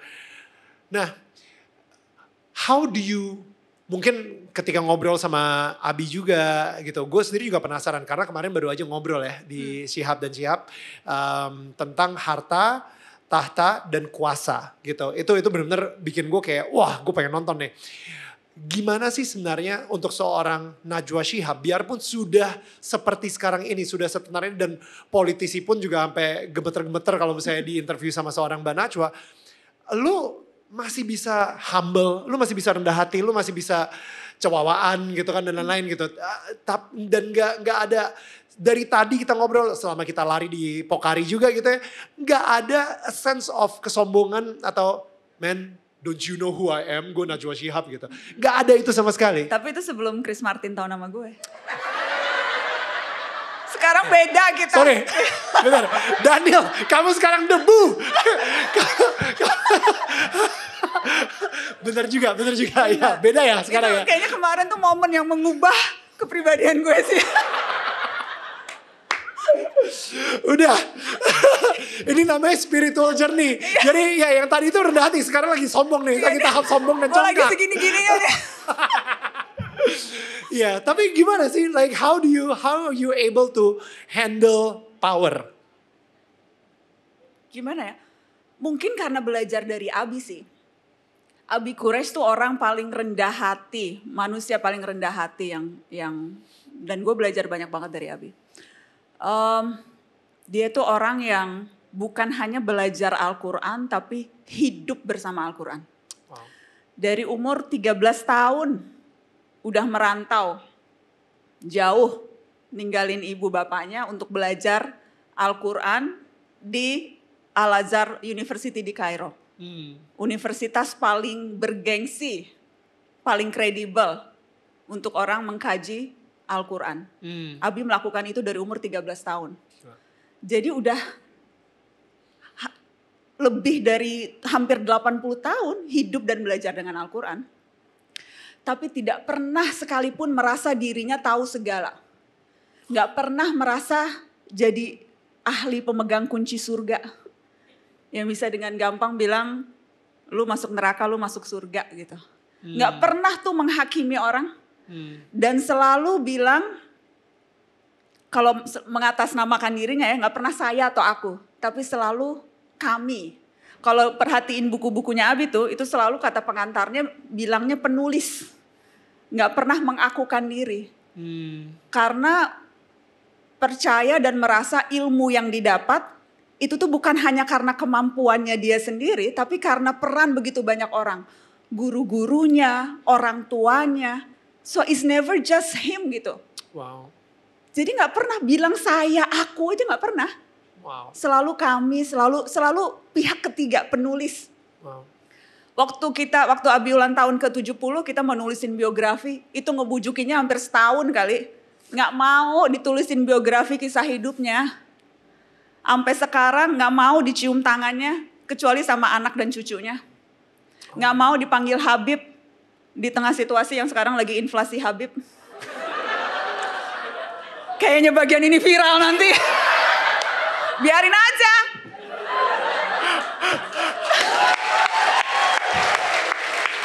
Tapi itu nggak mau gitu. Karena selalu bilang Habib itu artinya orang yang dicintai dan mencintai. Hmm. Itu artinya Habib. Jadi Wow. nggak cukup kalau lu hanya dicintai, dicium-cium tangannya, diluk-lukan. Lu juga harus hati lu tuh harus penuh cinta, nggak punya kedengkian, harus selalu rahmat, harus selalu terbuka pada perbedaan. Itu mencintai kan seperti itu. Wow. Jadi gue belajar banyak banget dari Abi. Hmm. Setiap kali ada sesuatu yang dia nggak tahu, dia selalu nanya. Nanya ke gue soal hukum, nanya. Jadi iya nanya. Wow. Kalau mau lagi nulis sesuatu nanya. Setiap pagi sepanjang ingatan memoriku ya, dari mulai aku bisa ingat dari mulai aku kecil sampai sekarang, ritual paginya tuh nggak pernah berubah. Bangun pagi, sholat subuh, duduk di meja kerjanya, ada teh Lipton di samping kanannya yang diseduhnya sendiri, pakai sarung dan selalu either nulis, either baca, either ngetik. Hmm. Penulis paling produktif saat ini, bukunya udah puluhan. Belum selesai satu buku, udah punya ide baru untuk nulis buku yang lain. Oh. Sampai penerbitnya tuh bilang, Abi tunggu dulu dong, ini buku yang ini belum diter, belum dicetak nih. Wow. Jadi selalu nulis, selalu baca, selalu mau tahu apa kata orang, selalu mau dengerin orang. Wow. Dan hari-hari ini situasi di mana ada begitu banyak orang mengaku ahli, kan ada bukunya tuh Death of Expertise. Hmm. Lu baru tahu satu buku aja, masih nyontek-nyontek belakangnya lu udah ngaku ahli gitu. Hmm. Koar-koar deh di media sosial merasa ahli segala hal. Hmm. Di tengah begitu banyak orang yang sekarang begitu mengklaim kebenaran, Ya. Abi itu contoh buat gue yang luar biasa. Karena dia tahu banyak sekali hal, tapi nggak pernah mengkerdilkan orang lain. Wow. Tahu kan? Dan itu tuh jadi jadi panutanku tuh Wow. itu. Ya. Panutanku tuh Abi Quraisy, panjang umur, sehat selalu ya Allah. Aku tuh Yes, selalu amin, amin, Aku tuh amin. selalu deg-degan banget setiap kali bicara Abi karena aku ngelihat Abi makin tua, 80 Hmm. dan makin aku inget tuh aku kemarin ngobrol kayaknya nggak akan pernah siap deh. Kita kayak kita nggak pernah siap ngelihat orang tua kita tua ya. Aku tuh tinggal di rumahku tuh bener-bener di belakang rumah Abi. Jadi aku tuh setiap hari jalan kaki gitu ke rumah Abi. Setiap hari ketemu. Tapi setiap hari terus ngelihat kok kayaknya Abi makin tua dan aku makin deg-degan ya Allah. Aku takut banget Abi meninggal. Hmm. Aku that's my biggest fear kalau Abi meninggal gimana ya Nil? Hmm. Aku nggak mau mikirin, udah nggak usah dibahas. Bahas, Di skip, nggak usah dibahas itu. Yeah. No, no. Nggak usah dibahas. Let's not talk about it. Tapi aku takut banget ya Allah. And kita kalau ngomongin tadi itu ya, kayak emang bener sih ngelihat ngelihat sosok Abi itu bener-bener saya sendiri juga pengen banget ngobrol sama Abi dan belum kesampaian. Kemarin itu udah Iya, ngobrol ber- sama kakak atau adik ya kemarin Caca ya? Caca. Caca, ha, Ah, adikku, adikku. ah, adik ya. Nah, eh, jadi belum belum belum sempat kesampaian tapi I know that one day I I would love to Yes. have this conversation juga sama Abi Koresh gitu. And ya tunggu aja ya di Daniel tetangga kamu berikutnya ya. Um, tapi balik lagi keberanian Mbak Nana untuk wawancara seseorang dan benar-benar dengan pertanyaan yang sangat tajam, tidak melihat sosok dia itu siapa dan lain-lain, itu datangnya dari mana, Mbak? Dari belajar, Oke. dari pengalaman. Dulu awal-awal jadi reporter juga takut-takut, banyak gak enaknya. Kok inget tuh awal-awal jadi reporter, aku kan dari dulu selalu ditugasinya desnya politik eh, hukum gitu ya. Uh, jadi aku sempat jadi wartawan istana, wartawan TNI, nongkrongnya di kantor polisi, di DPR. Jadi memang dari dulu tuh karena backgroundku juga hukum, jadi memang selalu ditempatinya di situ. Ya. Tapi ya butuh butuh waktu setelah puluhan tahun. Awal-awal juga gue cemen banget. Masih kayak nggak ada kita kita semua ini soalnya ngelihat Mbak Nana ini bukan orang Indonesia pada umumnya gitu. Maksudnya orang Indonesia pada umumnya pasti nggak enak-enakan, kamu- santun, Uh. ya eh, santun gitu yang kayak oh ya, eh, aduh nggak enak lah nanti nanti dia bakal marah lagi, ah, takut menyinggung dan lain-lain. Kalau Mbak Nana itu ya nggak ada, udah tinggal langsung I know um, lu lagi mengeksploitasi sesuatu, I know ini kebenarannya ada di sini, I know uh, lu sekarang ini lagi berbuat sesuatu yang tidak adil dan gua akan ngebuka ini ke publik gitu. Dan ini jarang banget maksudnya come on like like gua Enggak ah, sekarang banyak banget reporter yang canggih-canggih ini. se- setelah Mbak Nana Gitu. Mm, Enggak juga, banyak banget senior. Aku tuh belajar, aku belajar dari Mbak Desi Anwar, belajar dari Bang Andi Noya, belajar. Itu dua mentorku banget tuh dan apa namanya? Mungkin stylenya berbeda ya. Kalau aku stylenya lebih straightforward. Ada Ya. yang stylenya mungkin beda-beda dan itu yang membuat yang yang menurutku ya perbedaannya di cara dan gaya gitu. Tapi Ya. pada dasarnya aku merasa semua jurnalis ya dididiknya sama. Oke. Maksudnya ya you seek the truth, lu Ya. jangan ngomong kalau lu nggak yakin faktanya apa, you do your work dan itu tuh yang aku pegang sampai sekarang dan aku pegang di tim Mata Najwa. Ya you have to do the work kalau lu mau ini, Do lu harus research. riset, Ya. lu harus uh, ngecek semuanya, lu harus memastikan semuanya ini gitu. You Ya. have to have that kwitansinya tuh harus ada istilahku. Jadi kalau lu nanya seseorang dan dia ngelak, dia nggak bisa ngelak karena kwitansinya lu pegang. Ini nih tandanya buktinya gitu. Hmm. Wow. Jadi dan setiap kali gue mata najwa tuh gue Ya. udah punya kwitansi banyak nih. Wow. Mau wawancara politisi apa pun, I do my work. Wow. Tapi menurut gue tuh there's nothing, ya memang itu yang harus dilakukan gak sih? There's Hmm. nothing really special tentang orang yang mempersiapkan dirinya menghadapi pekerjaannya ya ya mungkin menjadi spesial karena ada banyak yang nggak konsisten melakukan itu Hmm. hanya di awal-awal terus kemudian ngerasa bisa atau kemudian ngerasa ya udahlah I think I Hmm. know gitu dan itu tuh yang yang bahayanya di situ Hmm. nah kalau di mata najwa sistemnya tuh udah kita bikin Hmm. siapa pun lu mau wawancara Mas Kris lu mau wawancara Mas Ganjar soal Israel lu mau wawancara siapa pun gitu Hmm. Ya harus sama Ya. you do the work dan Ya. itu yang nanti akan membedakan kualitas lu dengan kualitas yang lain Wow. karena kan ini transparan banget ya maksudnya what you see is what you get lu nggak bisa bohong-bohong gitu Ya. kalau lu apa namanya masih bisa suaranya di adjust adjust atau kalau misalnya bisa gaya-gaya gitu tapi enggak kalau lu apalagi kalau ya lu nanya jawab kelihatan kualitas lu dari pilihan diksi dari gimana lu uh, nanya ke orang gimana pembawaan lu maksudnya transparan banget Hmm. jadi ya if you don't do the work, ya lu nggak akan berhasil. Dan Ya. kenapa Mata Najwa alhamdulillah bertahan sampai sekarang karena we do the work and we do it consistently. So Wow. there's no magic thing itu kayak resep yang bisa dipakai untuk semua. We just do it consistently. Itu Tadi bener banget yang ngomongin soal inconsistent karena ketika mata Najwa atau bahkan orang udah mulai mengenal Najwa, Shihab gitu ya, akhirnya lu bakal mikir kayak ya udahlah gue ngapain aja gue ngomong A atau B aja orang sponsor masuk orang bakal nonton whatever gitu. Dan itu yang bikin kita longgar. Bikin kita kayak ya udahlah researchnya mungkin biasanya eh, misalnya sejam gitu ya udah 30 menit aja cukup gitu.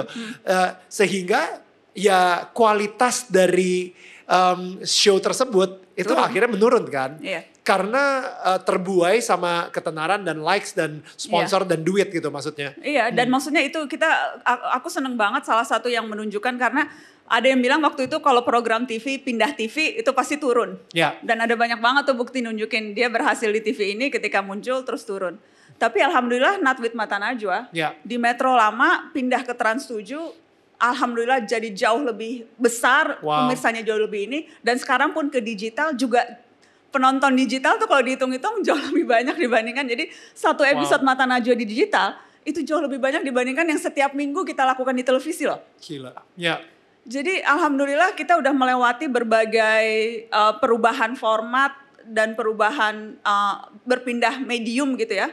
Tapi tetap karena ya kualitasnya yang kita jaga, teamworknya yang kita jaga. Maksudnya Najwanya cuma satu, tapi tim mata Najwanya tuh luar biasa. Itu banyak banget. Gimana gimana sih caranya supaya Mbak Nana sendiri dengan tim-timnya itu menghadapi uh, komentar-komentar netizen atau mungkin ancaman-ancaman netizen ketika uh, ngomongin sesuatu yang lumayan sensitif gitu.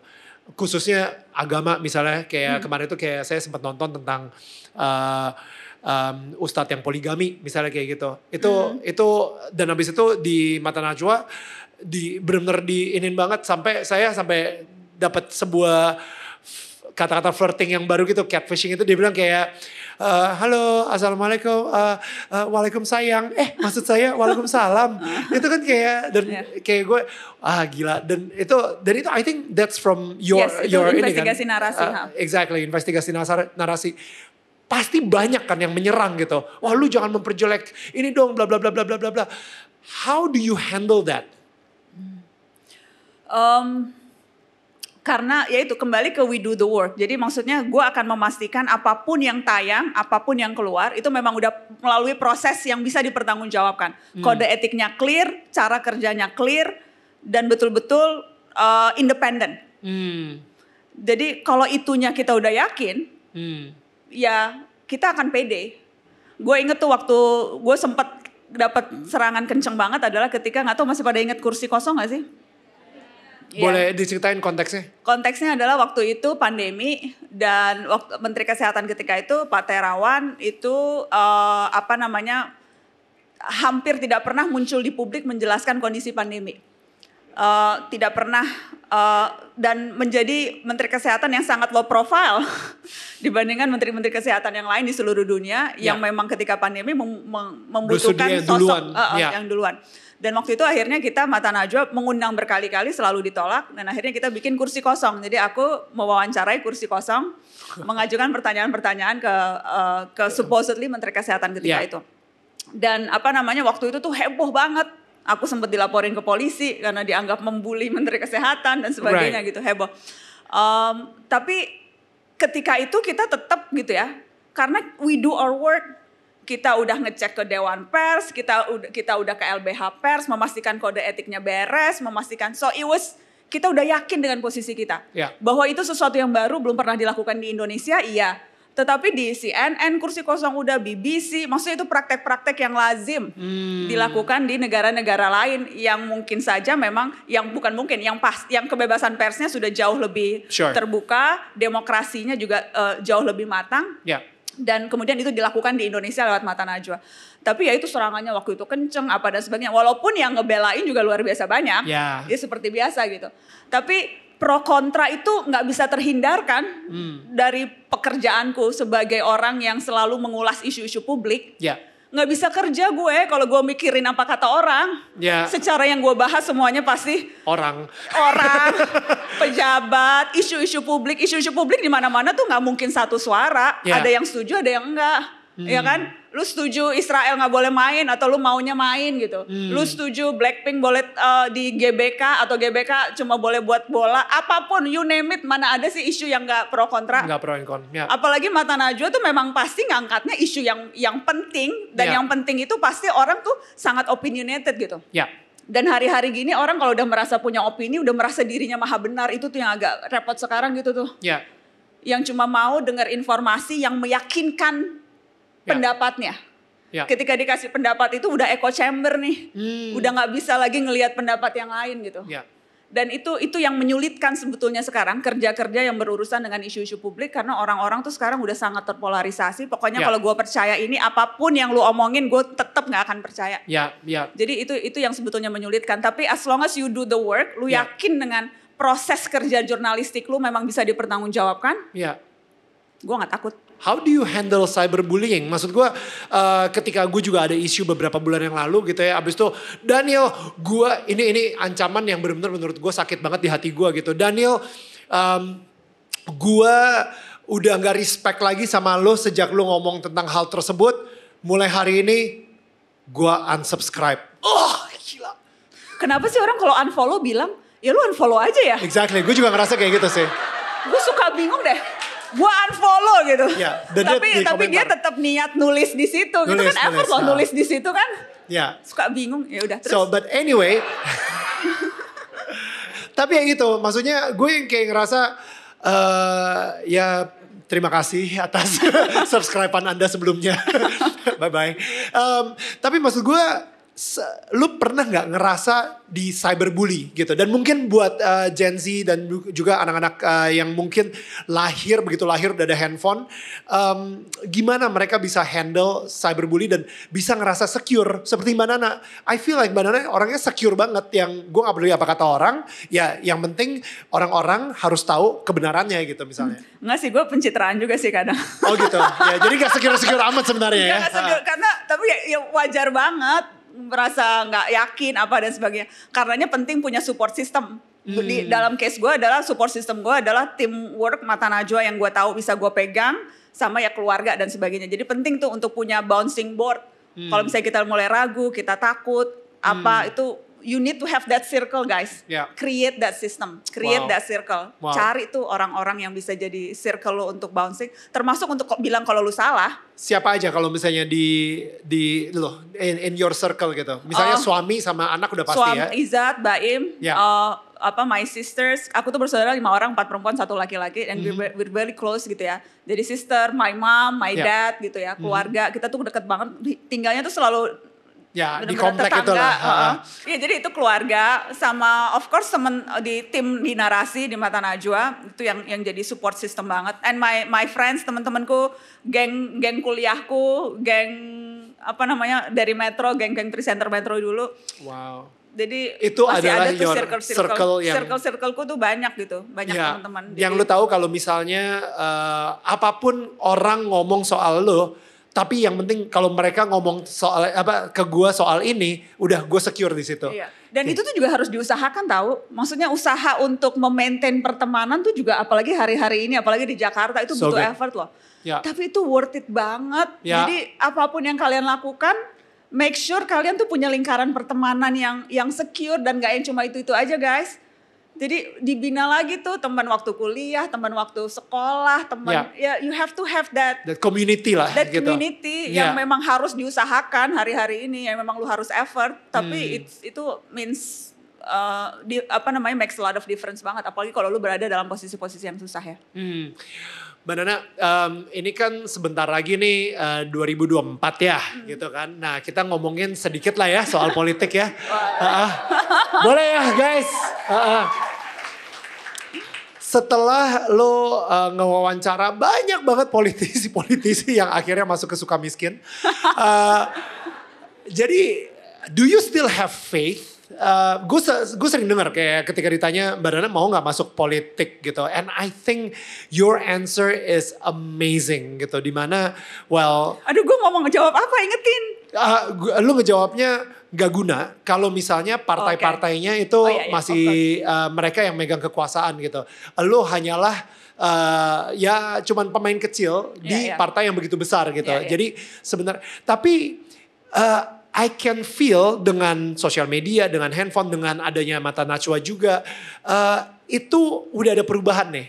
People uh, seek the truth. People benar-benar uh, mereka udah you know udah udah nggak bisa sembarangan lagi yang berkuasa oppress yang uh, jelata gitu misalnya. Um, how what is your faith? Eh, maksudnya gimana nih eh, keyakinan lu dengan politik Indonesia ke depannya gitu? Kalau gue jadi lu gue udah nyerah kayak ah gila. Look at all these politicians Indonesia akan dipimpin sama orang-orang seperti ini. Ah forget it gitu misalnya. Ta- tapi kayaknya lu masih berkutat di situ dan you still have faith in the younger generations malahan. Iya, kalau gue lagi motivator mode on sih gitu. kalau gue lagi yang jurnalis skeptis yang udah capek banget ya Allah nih politisi itu, gue kadang juga sama kayak lu sih gitu. iya. Ya. Tapi em, gue tuh selalu merasa dan gue selalu bilang ini optimis. Kalau ditanya kenapa sih lu masih optimis dan gue selalu mendefinisikan optimis itu bukan berarti ya lu kayak semuanya akan wah bahagia apa dan sebagainya. Optimis tuh bukan bukan percaya buta bahwa semua akan baik-baik saja enggak. Gue percaya optimis itu artinya setia pada proses. Jadi kalau lu ngelihat ada yang bagus, lu dukung. Tapi kalau lu ngelihat ada yang nggak bagus, ya kita lawan. Itu optimis itu setia pada proses. Dan menurut gue manusia tuh kita memang ya harus optimis. Gue diajarin Abi ada hadis tuh. Tanamlah pohon walau kamu tahu besok akan kiamat. Jadi kalau kita udah tahu kiamat pun kita di sekarang tuh masih tetap disuruh nanam pohon gitu. Wow. Jadi ada ada rasa apa ya? Setia pada perjuangan yang kita percaya sama-sama itu optimisme. Wow. Dan memang nggak mudah untuk optimis. Di di kala situasi membuat kita lebih banyak merasa apa gunanya berjuang, Ya. baru berhasil kalau viral, ya kan? Apa gunanya mengusahakan sesuatu ketika kita tahu suara kita hanya akan dipertukar belikan Hmm. oleh elit ketika nego-nego kekuasaan misalnya. Hmm. Ngapain berapi-api ngebela satu hal ketika tahu di ujungnya mereka salam-salaman untuk kepentingan segelintir saja gitu. Hmm. Jadi ada tuh rasa-rasa kayak gitu gitu. Ya. Dan situasi-situasi yang membuat kita kemudian ya ngambil jalan yang mudah. Karena yang paling gampang kan itu. Ya udahlah terserah. Yes. Gue rebahan aja. Ya suka-suka lu mau apa. Hmm. Itu paling gampang dan paling enak nggak usah ngapa-ngapain ya kan. Tapi kan ya ngapain jadi manusia ya kalau rebahan terserah dan ini aja. Maksudnya Banyak mau. banget Gen Z sekarang ini udah nggak mau nyoblos nanti pas pemilu karena mereka mempunyai unsur apatisme itu yang kayak ya udahlah nanti yang menang pun juga yang bakal ngatur negara ini gue Iya. hanya rempah Dan wajar, maksudnya aku bisa memahami banget perasaan perasaan eh, itu gitu. Tapi maksudnya bahayanya dengan perasaan terserah itu adalah perasaan seolah-olah kita menjadi korban dan perasaan korban kayak kita jadi korban tuh membuat kita jadi nggak makin ber- makin nggak berdaya kan? ya Maksudnya victim mentality itu tuh yang harus kita lawan tuh. wow Kita sering banget ngerasa jadi korban keadaan, korban situasi nggak bisa ngapa-ngapain. ya Dan kalau lu kayak gitu ya lu akan jadi korban selamanya. Lu nggak akan jadi pemeran utama dalam kehidupan lu sendiri. wow Iya kan? Jadi it, it takes work, it takes apa namanya konsistensi konsistensi gitu, effort, effort. gitu dan Sama gak ya- rebahan Iya. ya Tapi ya ya memang itu namanya setia pada proses, namanya optimisme tuh itu gitu.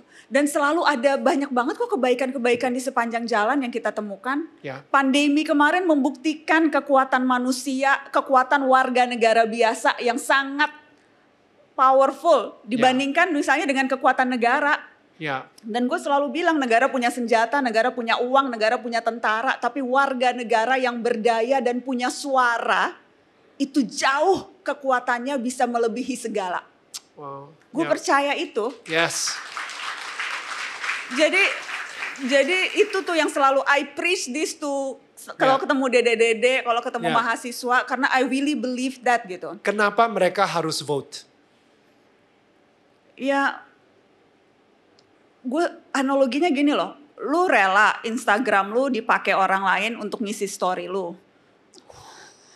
Lu lu lu mis, kebayang nggak? Lu gue nggak mau lu lu megang Instagram gue lu ngisi posting-posting sendiri gitu. Instagram gue punya gue, suara gue, ekspresi gue, hak gue, pendapat gue. Lu nggak rela akun Instagram lu dipakai orang lain, masa lu rela suara lu sebagai warga negara digunakan orang lain dan lu nggak pakai suara? Iya kan? Sesederhana itu aja. Lu paling nggak mau disuruh-suruh ngatur-ngatur pakai baju apa ini apa, paling nggak mau diatur-atur kan? Ya kita ngatur diri kita sendiri, gunakan suara kita sendiri kalau lu kita nggak mau diatur ini. ya Iya, apa yang penting buat lo dan cari siapa kelompok eh, atau orang yang bisa mewakili kepentingan lo. Hmm. Yang penting buat gue apa?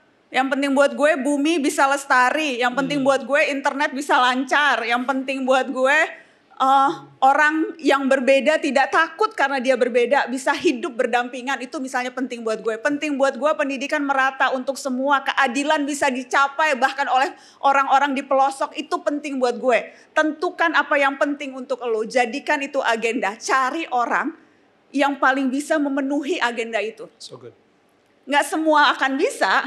Ya. Ada yang bilang kita milih pemimpin itu yang terburuk, yang terbaik dari yang terburuk katanya orang yang pesimis. Hmm. Tapi ya lu memang nggak akan bisa percaya 100% sama orang. Sama pacar sendiri aja kita nggak 100% yakin sama pacar kita kan. Iya terkadang sama pacar aja terkadang kita nggak begitu yakin. Hmm. Tapi yakinlah pada kemampuan lu untuk memilih orang yang lu percaya bisa terbaik untuk lo. Hmm. Jadi nggak usah percaya pada orang, percaya pada kemampuan lu untuk menentukan apa yang terbaik untuk lu. Yes. Kalau itu aja lu nggak percaya pada diri lu, ya gimana caranya lu hidup? Ya. Kan itu yang kita punya. Hmm. Manusia yang berakal, yang berhati, yang bisa menentukan langkah sendiri, itu yang bikin kita beda sama binatang kan? That's it. Ketika kita punya akal, kita kita punya hati nurani, ketika kita bisa mengendalikan nafsu. Abi selalu bilang tuh kalau kita terlalu mikirin fisik, kita jadi binatang. Kalau kita terlalu mikirin rohani, kita jadi malaikat. Iya kan? Manusia tuh mencari keseimbangan di situ. That's so good. Dan itu yang bisa kita lakukan dan kita latih lewat interaksi sehari-hari. Ya. Bertemu orang, bertemu tetangga, Ya. sharing seperti ini, diskusi, baca buku, Hmm. dengerin musik, war tiket Coldplay. Yes. Iya hal-hal yang fun gitu loh, yang yang membuat di, kita, kita diri kita jadi manusia seutuhnya. Ya. Manusia seutuhnya tuh kan yang bisa menggabungkan itu. Ya. Ya kan otak, hati dan dan pikiran dan fisik kita itu menjadi manusia seutuhnya tuh yang seperti itu. Lagi-lagi gue mengutip Abi ya. Ini gue sotoy karena gue ngutip Abi. Tapi bukan, bukan deh. omongan gue, omongan barusan, Abi. Barusan itu gue kayak pengen kalau misalnya ini emojinya fire, fire, fire, fire, fire gitu. Jadi boleh gak kita berikan tepuk tangan dulu untuk Mbak Najwa Shihab. Seperti tadi kita pengen coba ngebuka uh, pertanyaan untuk tiga tetangga kita yang ada di sini. Uh, um, Oke, uh, sorry gue banyak banget soalnya mana mana uh, itu ada Mbak Meda. Sorry ya saya kenal dia, maaf ya agak KKN dikit. Jadi Meda boleh Meda dulu ya satu silakan. Makasih ya Duh Mbak, gue ngefans banget sumpah sama lo. Dan mulai hari ini gue tambah ngefans. Kenapa? Thank you Daniel, karena gue gak pernah lihat Mbak Najwa se-vulnerable ini. Jadi waktu gue datang ke sini tuh harapannya adalah wanita yang kuat, kuat, kuat, kuat, kuat gitu kan. Yang kayak wah uh, bold and beautiful gitu. Tapi hari ini gue lihat makin kuat. Kenapa? Karena I see the sweet spot of you. And thank you banget buat kesempatannya. Dan uh, tadi ada satu yang awal banget, Mbak Nana bilang uh, Nana yang dulu sama yang sekarang tuh beda gitu. Nah aku cuma pengen tahu, tadi sebenarnya pertanyaan-pertanyaan yang udah di kepala tuh ditanyain semua sama Daniel. tapi uh, aku pengen tahu mentor Mbak Nana, uh, eh tadi udah disebutin sih, tapi dari sisi secara karir gitu.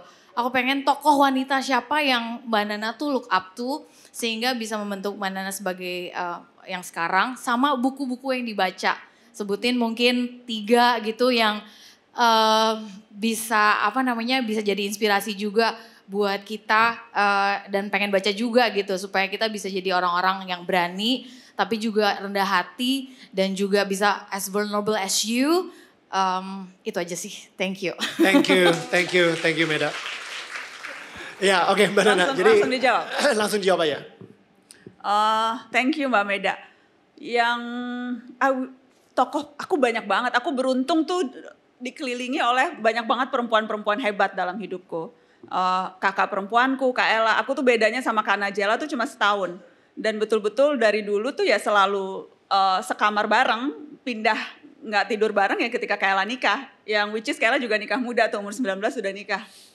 Kayla, I don't know if kalau kalian tahu, Kayla tuh pendiri Cikal.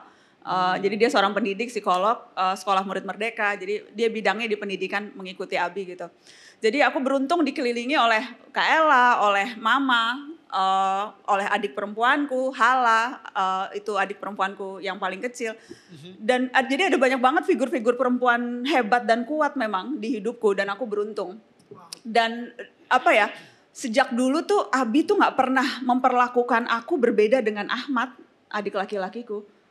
Jadi nggak pernah sekalipun merasa aku lebih tidak berharga dibandingkan anak laki-laki satu-satunya. Wow. Dan itu tuh yang bikin kepercayaan diri luar Ya. biasa gitu. Aku nggak pernah merasa karena aku perempuan jadi aku nggak boleh sekolah di Amerika, nggak boleh uh, ikut macam-macam. Iya ada peraturan-peraturan di rumah. Aku inget sampai aku SMA aku nggak boleh keluar maghrib Jadi maghrib tuh harus di rumah, sholat jamaah, eh, ngaji, eh, baca Al-Quran gitu, wirid. Hmm. Anak dan perempuan gue nanti akan gue terapin sampai universitas. gue udah membaca sih tanda-tanda otoriter di dalam lu tadi. Tapi ya itu, jadi di rumah tuh ada ritual-ritual itu. Eh, apa namanya? ya. Eh, tapi eh, kembali ke tadi, figur perempuan kuat itu terutama mama sih. Hmm. Mama itu eh nggak sebetulnya kuliahnya nggak selesai. Jadi cuma semester 1. Mama tuh juga nikah muda, umur 19 sudah nikah dan beda jarak jauh sama Abi tuh jaraknya cukup jauh tuh. 10 tahun Oh jaraknya wow, oke. sama Abi. Eh, tapi walaupun nggak kuliah, tapi Mama tuh luar biasa. Ho- suka banget bahasa, jadi bisa bahasa Arab, bisa bahasa Perancis. Sampai sekarang tuh masih les bahasa Perancis di CCF dan bahasa Come on. Perancisnya tuh udah kayak native, cus dan bener-bener karena setiap hari selama hampir 20 tahun les setiap Senin di CCF Perancis gitu ya. Wow. Jadi aku dan dari mama tuh aku belajar soal pokoknya kalau Nana mau bisa. Gue belajar punya ambisi dan nggak pernah dilarang tuh untuk punya ambisi.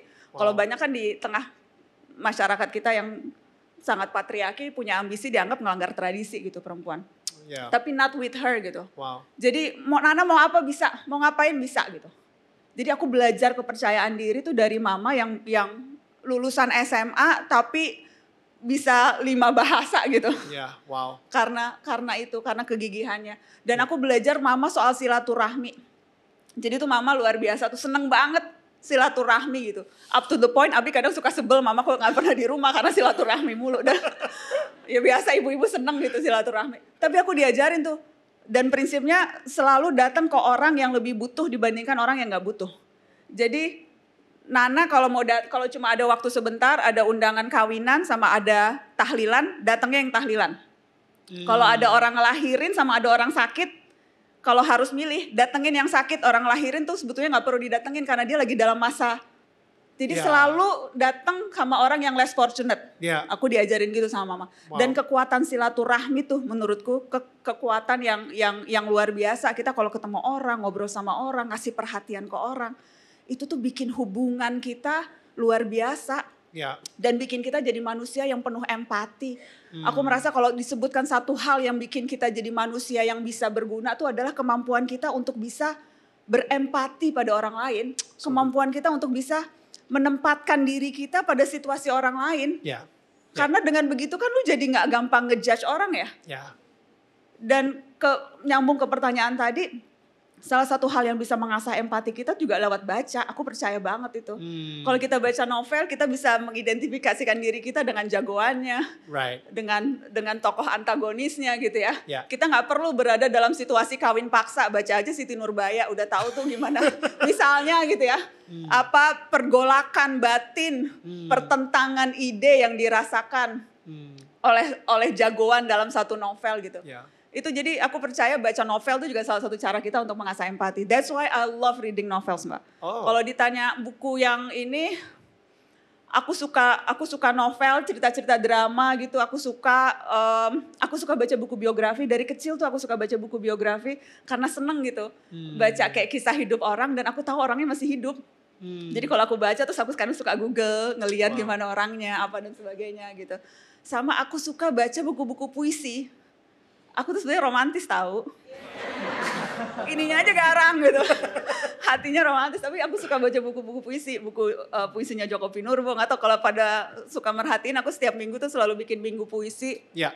karena I love aku suka aku pencinta kata-kata indah dan ada banyak banget eh, kata-kata indah yang bertebaran gitu yang yang yang aku suka dapetin jadi kalau mau rekomendasi novel novel apa pun hmm, aku aku suka novel kriminal dari dulu tuh jadi Joe Nesbo tuh aku lagi suka baca buku Joe Nesbo dia kalau bikin cerita detektif seru banget buku puisinya eh, Joko Pinurbo of course I love Mas Jokpin tapi sekarang ada banyak banget puisi apa penyair-penyair muda yang diksinya tuh diksi sehari-hari yang juga menyenangkan untuk dibaca sama buku-buku biografi.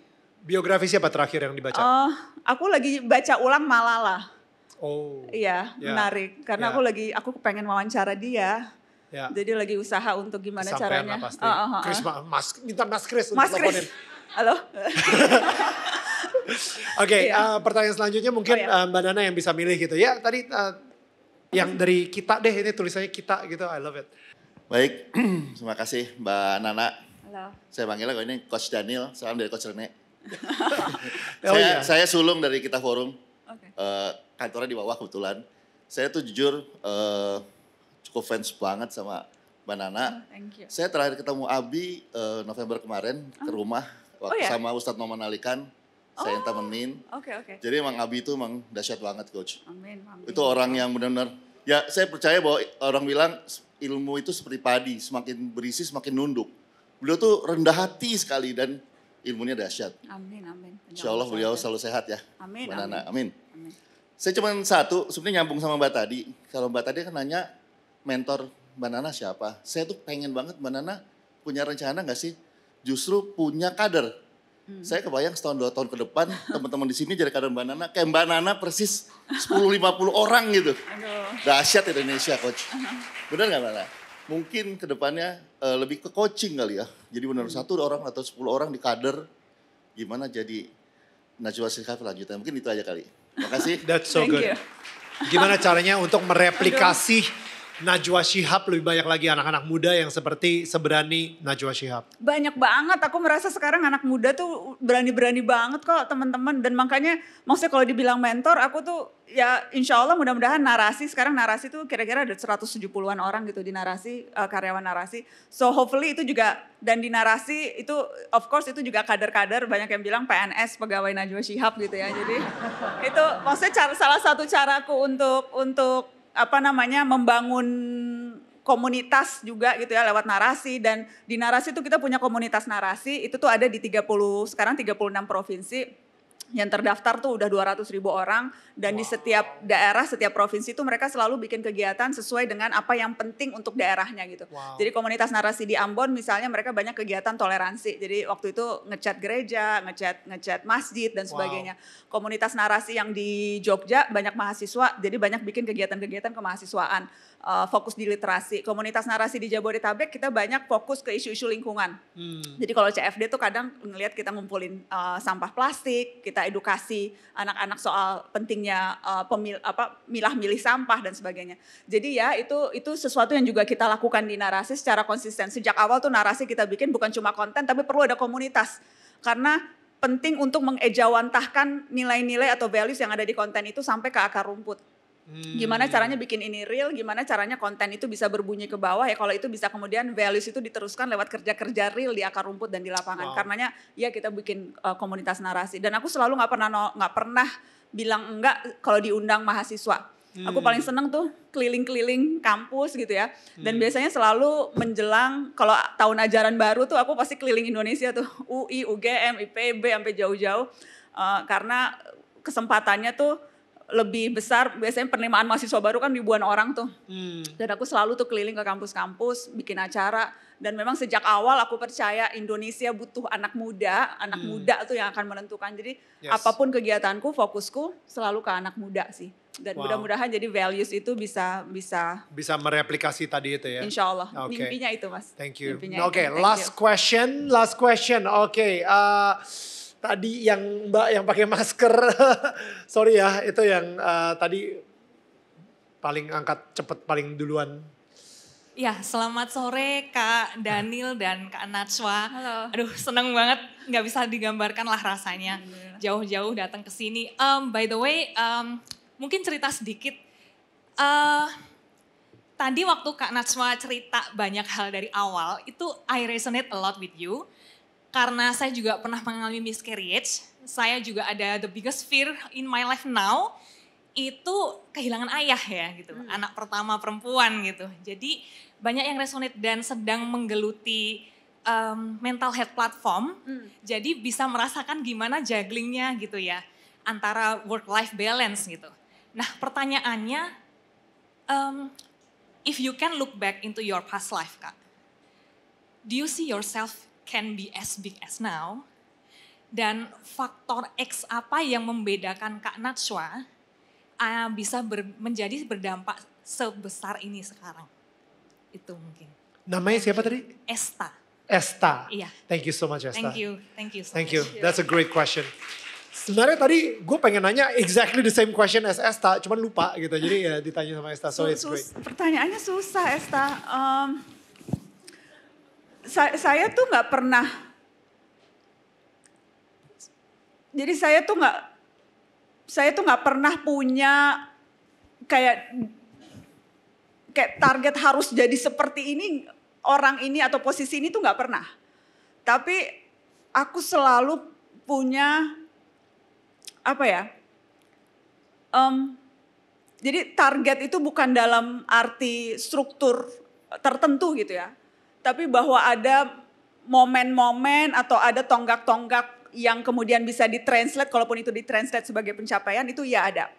Aku inget tuh aku dulu waktu masih jadi reporter tahun 2004 baru 3-4 tahun jadi reporter 2000, oh 2005 sorry 2005 eh, dan aku baru habis pulang dari liputan yang cukup besar yang mempengaruhiku dan bahkan juga kayaknya jadi salah satu tonggak dalam perjalanan karirku ketika aku pulang liputan tsunami. Dan aku inget itu kayaknya orang mulai kenal Najwa Shihab tuh ketika dia nangis-nangis di Aceh sih. Ya, Uh, dan aku ingat aku waktu itu ada wartawan dari Belanda waktu itu bikin liputan tsunami terus salah satu feature yang dia angkat adalah ini ada reporter dari Indonesia yang bikin Indonesia menangis itu judul artikelnya waktu itu wow. dan dia wawancara aku dan aku inget tuh waktu itu di halaman di pertanyaan terakhir adalah kamu mau jadi setelah ini apa target kamu terus aku bilang "Eh, saya pertama eh, saya mau sekolah lagi saya mau punya anak lagi dan saya mau kayak eh, Oprah Winfrey Hmm. Aku bilang itu, itu tahun 2005. Dan uh, kayak a few years ago gitu aku baru beres-beres kamar. Oh pas pandemi, pandemi kan kagak ada kerjaan ya guys. Jadi ya segala lah lemari dibongkar, apalah dibongkar gitu. Dan aku bongkar lemari dan nemu lagi tuh artikel itu. Dan kemudian aku baca. Dan kemudian terus aku inget-inget, kayaknya alhamdulillah apa yang aku inginkan waktu itu aku kesampaian deh. Ya, Aku waktu itu dapat beasiswa ke Australia. Aku punya Naminya walaupun Naminya meninggal tapi punya anak lagi loh. ya, Dan aku punya mata najwa dan sekarang punya narasi. Oprah kan punya onward gitu. Ya. Jadi dia bukan hanya punya program tapi juga punya perusahaan gitu. Harpo. Ya. Iya Harpo Hmm. dan kayaknya alhamdulillah apa pun yang waktu itu aku manifestasikan dalam bentuk jawaban pertanyaan pada Hmm. koran di Belanda itu itu kejadian gitu dan itu tuh aku Hmm. syukuri banget dan kadang tuh Oh. terkadang memang kita nggak pernah sadar gitu melewati momen di mana alhamdulillah I think kita reach a point yang apa yang kita omongin dan kita inginkan itu diberikan Tuhan Hmm. lewat cara yang mungkin ya nggak nggak semuanya ideal punya anak lagi maunya ya anaknya hidup gitu tapi ya Nami aku kalau ditanya anaknya berapa selalu jawab dua Hmm. selalu jawab dua Hmm. Jadi Em, mungkin itu yang paling mendekati jawaban apakah aku pernah memanifestasikan atau punya keinginan untuk melakukan apa yang aku lakukan sekarang gitu. ya, Tapi in terms of faktor X-nya sendiri. em, doa orang tua sih. Hmm. Aku itu doa orang karena di keluargaku tuh segala hal dimintain doa tau gak sih? Kita tuh percaya banget pada kekuatan doa. Sampai hal-hal simple. Ya, kayak aduh mam ini kayaknya macet nih takut telat meeting doain ya gitu. Sampai yang ya ampun mam ini mau bikin mata Najwa talk show nih di ada 10 ribu orang di lapangan awannya gelap tolong doain supaya nggak hujan gitu. Jadi doa pawang hujan, doa supaya nggak macet. Segala hal kecil tuh sampai hal-hal besar kalau mau ujian kalau nggak ngomong dulu ke mama mama minta atau abi minta doain gitu kalau ujian jadi segala hal dalam hidupku dan bukan cuma aku, keluargaku, adikku, kakakku. Kalau nggak minta doa sama mama dan nggak didoain mama Abi dulu tuh rasanya belum plong. Dan mama bilang setiap kali ngeliat gue siaran Nil, itu dia pasti selalu solawatan. Karena deg-degan. Setiap kali suara gue kenceng, solawatan mama semakin kenceng. gue gak ada Yes. feeling guilty juga. Tapi itu faktor X-nya apa? Doa ya. doa orang tua tuh luar biasa. Jadi gue kayaknya nggak akan mungkin bisa diundang Daniel Mananta di sini disaksikan ratusan orang kalau nggak didoain Abi Mama sih. Wow. Ya. Willy, aku percaya banget kekuatan doa. Thank you, thank you, Mbak Nana. I think um, that well one closing question dari gua ya. Jadi um, gue tahu lu nggak akan pernah masuk ke politik sih. Are you aiming for president? gue gak tau kenapa ya tadi ketika lu ngomong ketika ketika I I I would really ini kan direkam gitu ya dan gue akan tayangin sih ketika nanti suatu saat lu jadi presiden sih. Cause I would vote you to become my president karena iya yeah, right maksudnya dengan dengan adanya um, guidance dari uh, Abi dan habis itu hati lu sendiri juga penuh dengan uh, kekesalan kalau misalnya ngelihat sebuah ketidakadilan dan lu terus mengejar kebenaran. Sempet gak sih terlintas untuk jadi udah dah ini kalau nggak ada yang beres gua aja nih yang bakal jadi maju jadi presiden gua aja yang beresin negara ini gitu. Uh, jujur enggak sih karena gue dengan segala hormat kepada Presiden Jokowi dan presiden-presiden sebelumnya, presiden itu ya only one job, one person. Dan gue merasa terkadang kita terlalu merasa jabatan itu bisa menyelesaikan banyak hal. Ada banyak sekali orang tanpa embel-embel jabatan, tapi hidupnya luar biasa berguna bagi orang lain. Dan ada banyak sekali orang dengan jabatan mentereng, dengan lambang Garuda di dada, dengan ajudan yang setia, dan patwal nguing-nguing yang bikin kesal. Tetapi hidupnya tidak lebih berguna dibandingkan polisi pangkat rendahan yang setia, yang jujur, yang hidup sederhana, tapi membantu orang lain. Gue merasa terkadang masyarakat kita tuh terlalu menempatkan jabatan dan kuasa itu sebagai sesuatu yang instrumental. Ya. Begitu banyak orang tanpa embel-embel apa pun bisa berguna buat orang lain. Jadi nggak perlu jadi presiden nggak harus jadi presiden dan nggak mau jadi presiden. Hmm. Karena ada banyak cara untuk bikin kita semua lebih sejahtera tanpa embel-embel jabatan. That's good. Oke. Okay. Tetangga kita, Bana Najwa Shihab. Thank you. Thank you so much, Mbak Nana.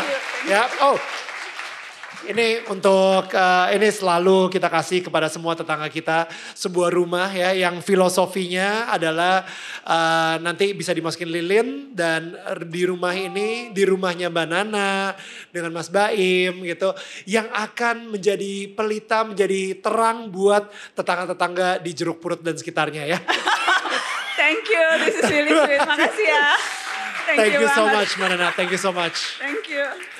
Yang pasti guys kita akan ketemu lagi di sesi berikutnya untuk semua yang lagi live on stage dan untuk kalian semua yang lagi nonton di YouTube, well kita akan ketemu lagi minggu depan. Tetangga saling menyangga bukan menyanggah.